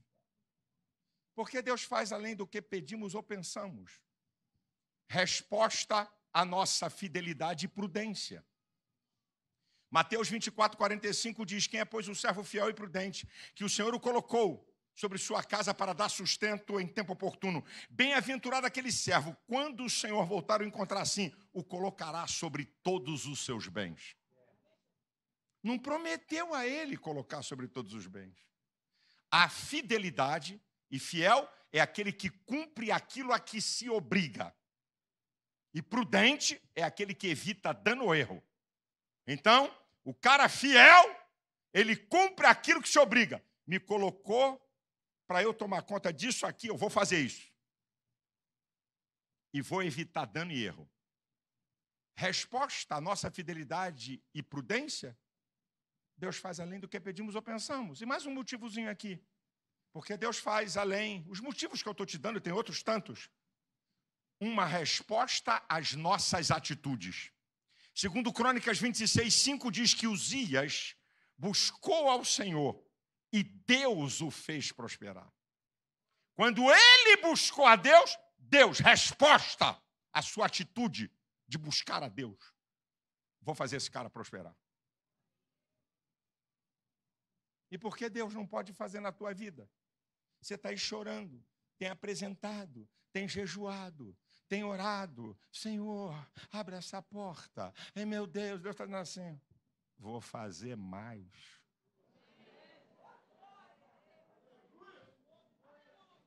Teu pedido ainda não alcançou o que eu vou fazer por você. Deus está dizendo, e aí aproveita aqui meu amigo pastor Jorge, quero profetizar sobre a vida dele. Eu digo para você que tem coisa que você tem orado, pedido a Deus e tem pensado, mas Deus vai fazer muito além do que você tem pedido ou pensado. Você pode ter certeza. Eu não sei o que é que você pede ou pensa sobre sua família, eu não sei o que é que você pede ou pensa sobre igreja ou sobre sua vida pessoal, mas sou profeta de Deus aqui nessa noite. Talvez eu estou pregando essa mensagem só por causa disso, por causa da tua vida. Que Deus vai fazer muitas coisas, além do que esses anos todos você tem orado, tem pedido ou tem imaginado. Agora, meu irmão, eu vou terminar a minha palavra porque é tão bom. Aleluia. Deus faz além do que pedimos ou pensamos. Tem crente? Até marcha. É isso aí. Até marcha com varão. Só tem uma notícia para dar para você para encerrar minha palavra. e aqui eu termino. As condições e o porquê Deus faz além do que pedimos ou pensamos. Porque tem gente que pensa que as promessas da Bíblia estão soltas. Todas as promessas da Bíblia, eu estou dizendo quantas? Estão condicionadas. A maior delas. Porque Deus amou o mundo de tal maneira que deu seu Filho unigênito para todo aquele que nele crê não pereça, mas tenha vida eterna. A maior promessa é a salvação. Condição, crê. Aí o crente vem e diz: Ei, irmão, recebe aí, aleluia. Tem um anjo do Senhor ao teu redor. É mesmo, é? O anjo do Senhor acampa-se ao redor daqueles que o temem. Condição: se submeter a Deus, reconhecer sua soberania. Senão não tem anjo nenhum em tua volta. Então, qual é a condição? Aquele que é poderoso para fazer tudo mais abundantemente além do que pedimos ou pensamos. Agora vem a condição. Segura aí, filhinho. Não geme, não. Está na Bíblia. Segundo o poder que em nós opera.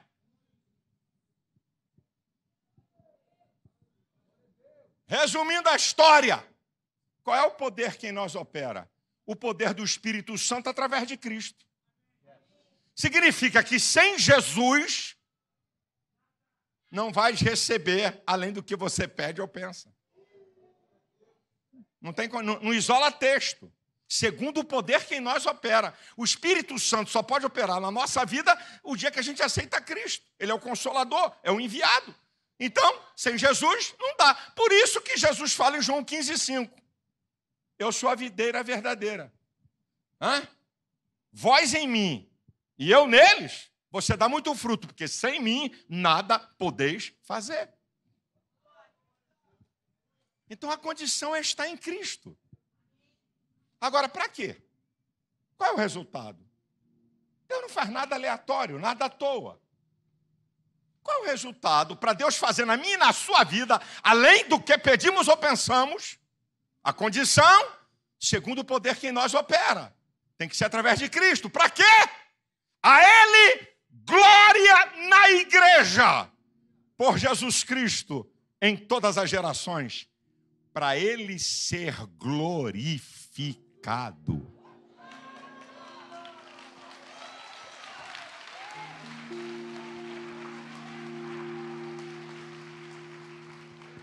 Não é para tu ficar metido a besta.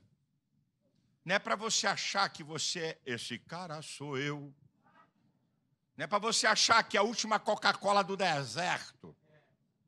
Não é para você se achar o Superman gospel. Não é para você achar que você é um diferenciado. Não, não, não, não, nada disso. A Bíblia é tão séria nesse negócio que 1 Coríntios 10, 31 diz: quer comais, quer bebais, quer façais outra qualquer coisa, fazei tudo para a glória de Deus. Deus não vai fazer além do que você pede ou pensa, se Ele não for glorificado. Aprenda isso, igreja, aprenda isso, meu irmão. Eu não sei o que, é que você pede a Deus ou o que você pensa. Se o final do objetivo não for para Deus ser glorificado, o que você está pedindo ou pensando é ambição egoísta, que tem a ver com suas necessidades, suas demandas e seus desejos, mas não tem nada a ver para a glória de Deus.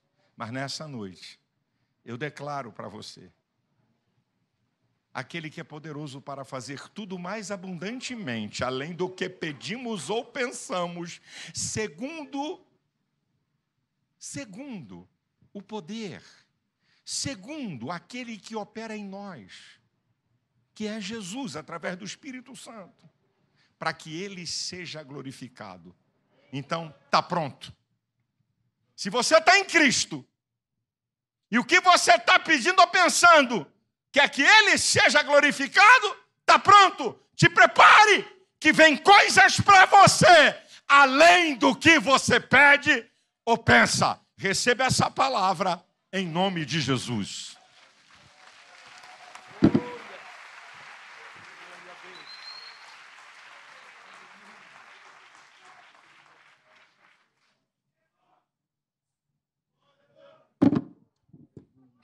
A igreja de pé.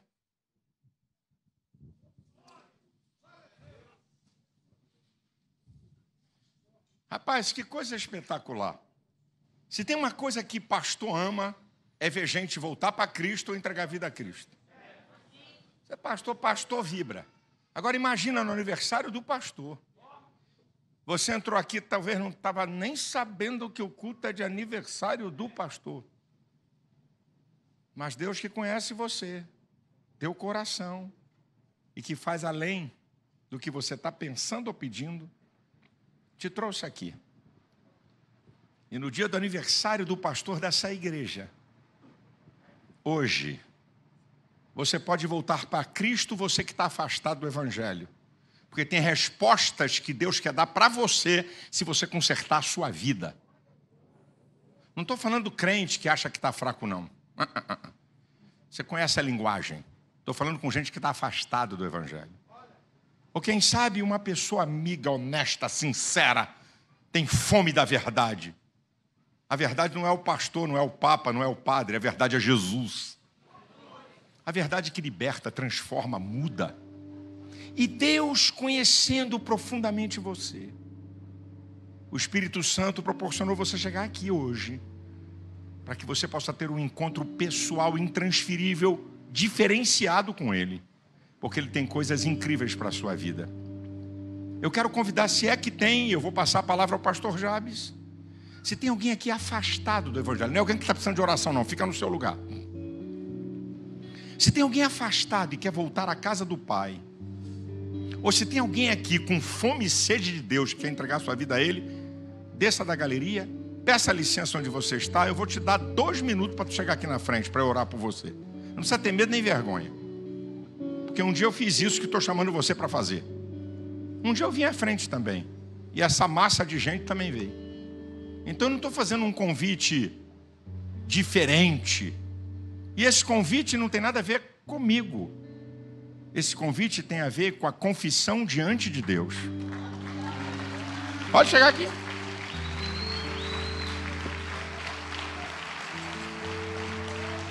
Deus te abençoe, queridão. Tá faltando você? Eu quero orar por você.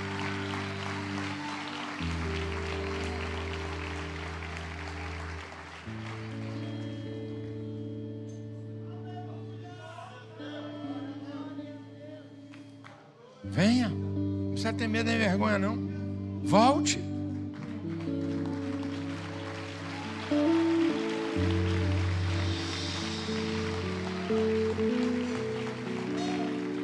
Deus tem uma resposta para a sua vida. Mas você tem que voltar para Ele. Você tem que se consertar. Você tem que se entregar. Está faltando você? Vou dizer uma palavra para encerrar aqui. Nunca diga que Deus não te deu uma oportunidade, porque te deu aqui hoje. Se Ele vai te dar outra, eu não sou Deus e não posso garantir, porque eu não tenho domínio da minha vida, vou ter domínio da vida dos outros.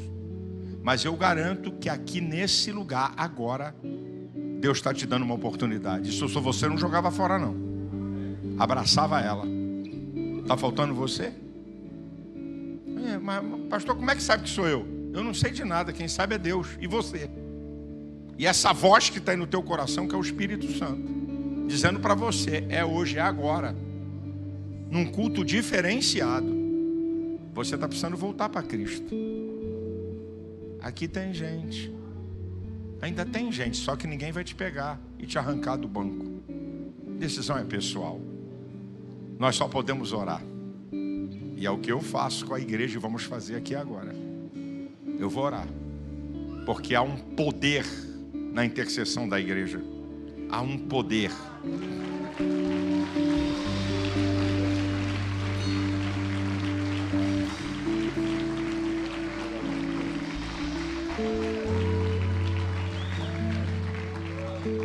Estende a mão sobre essas pessoas. Aleluia. Não há festa maior. A Bíblia diz que só tem festa no céu quando um pecador se arrepende.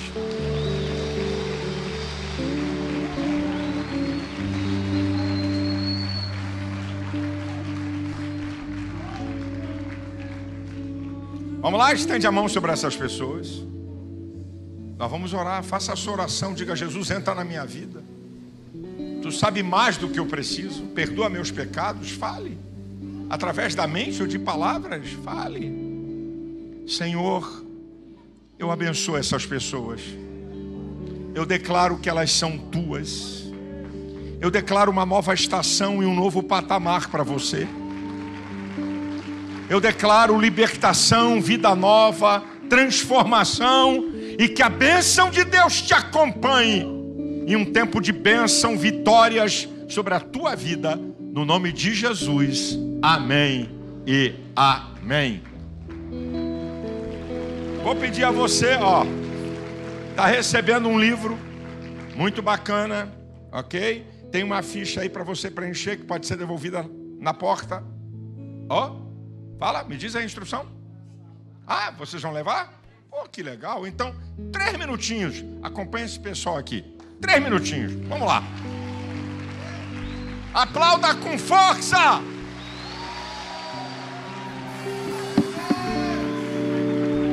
Glória, glória, glória, glória, glória, glória, glória, glória. O céu está em festa, a igreja também está.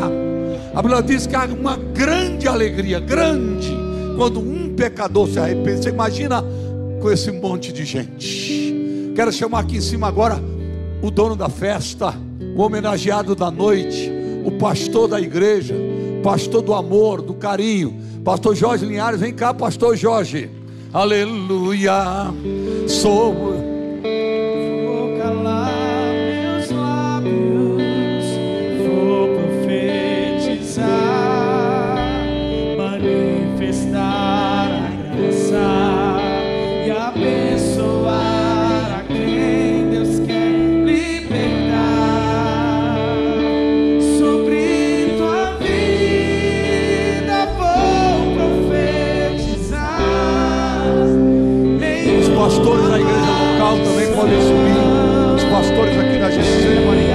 pastores amigos de outras igrejas que estão aqui, podem subir todos, por favor.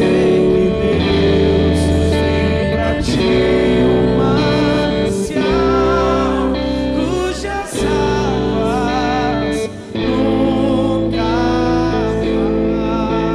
faltarão. Sei que Deus, sei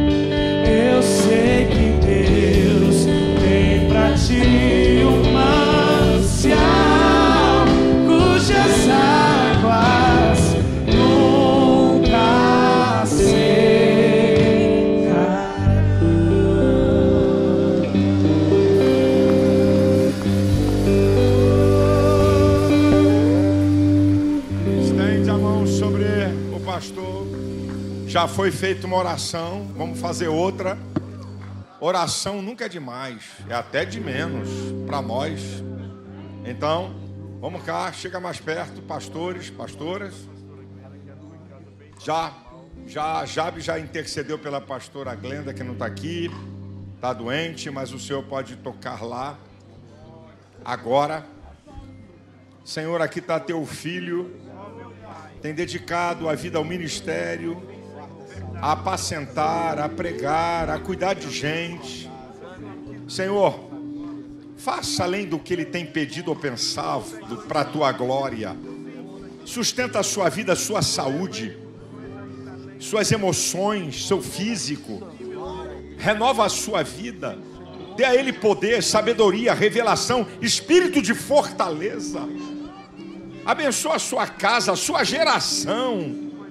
Abençoa a irmã Glenda, toca nela agora. Repreende todo esse mal em nome de Jesus.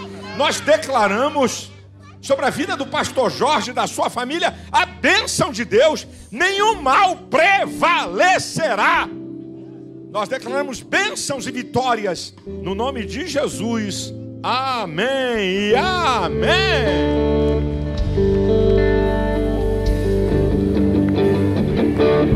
Ô,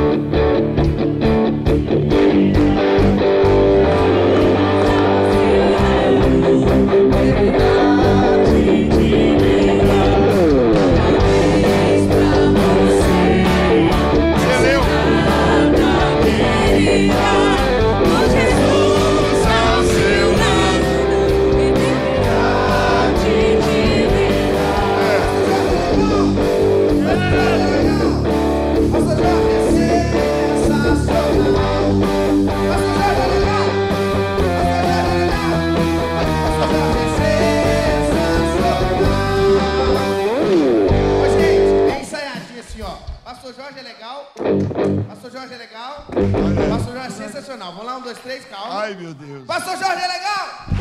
Pastor Jorge é legal.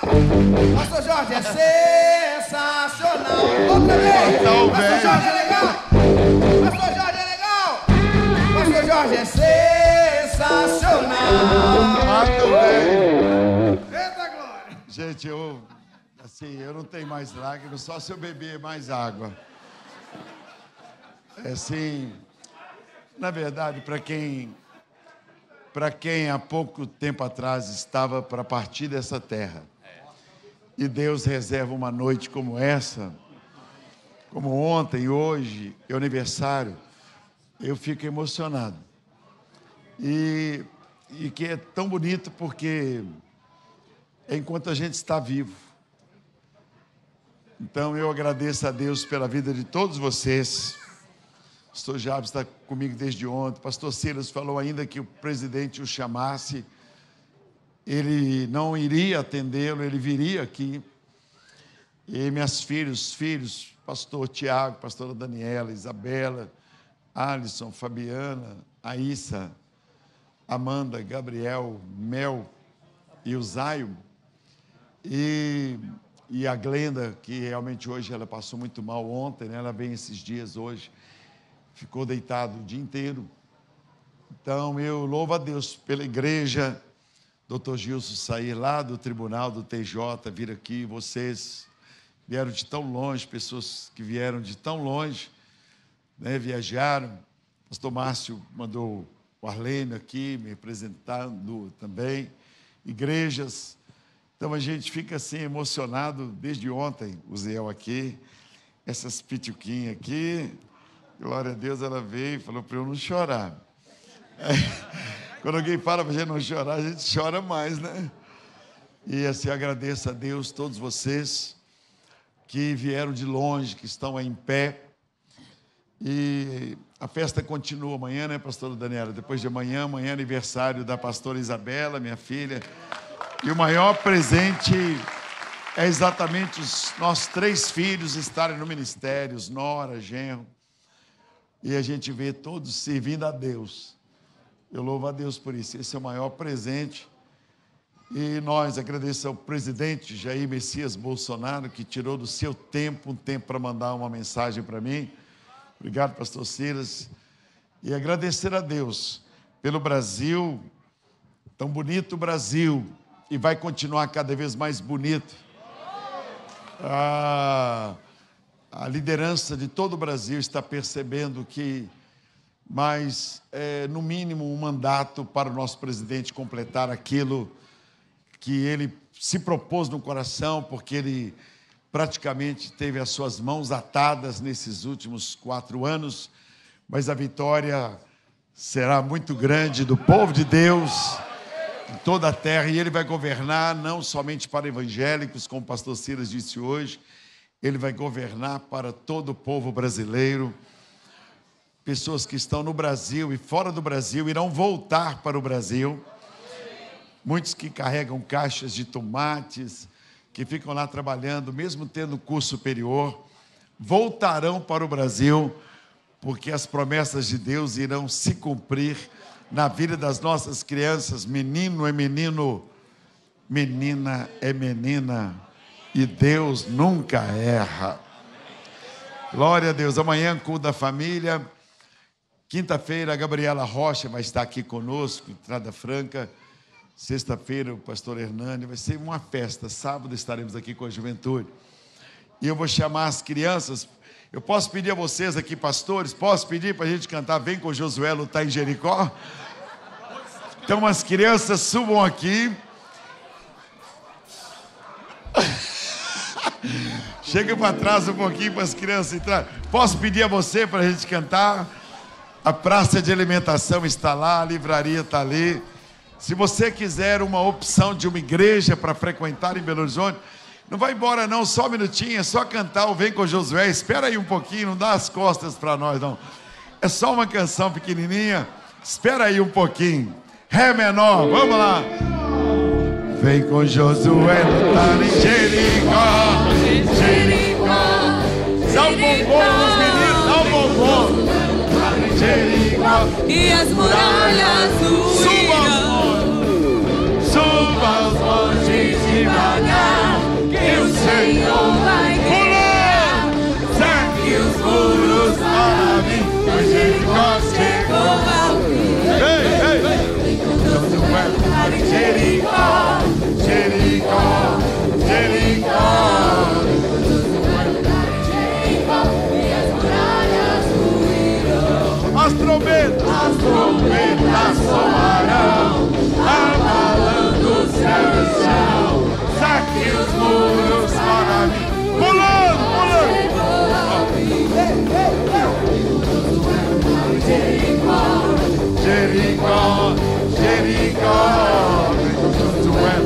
Jericó, e as muralhas ruirão, e as muralhas ruirão, e as muralhas.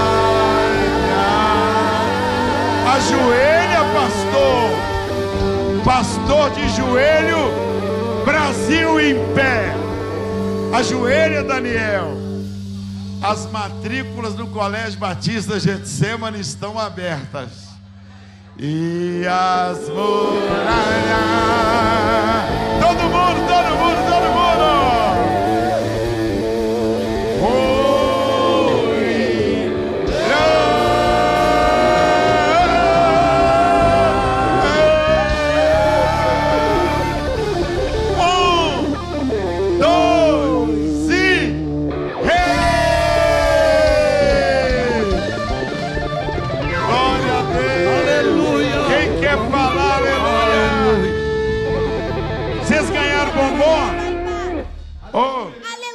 Deixa uma criança sair sem bombom, não, hein?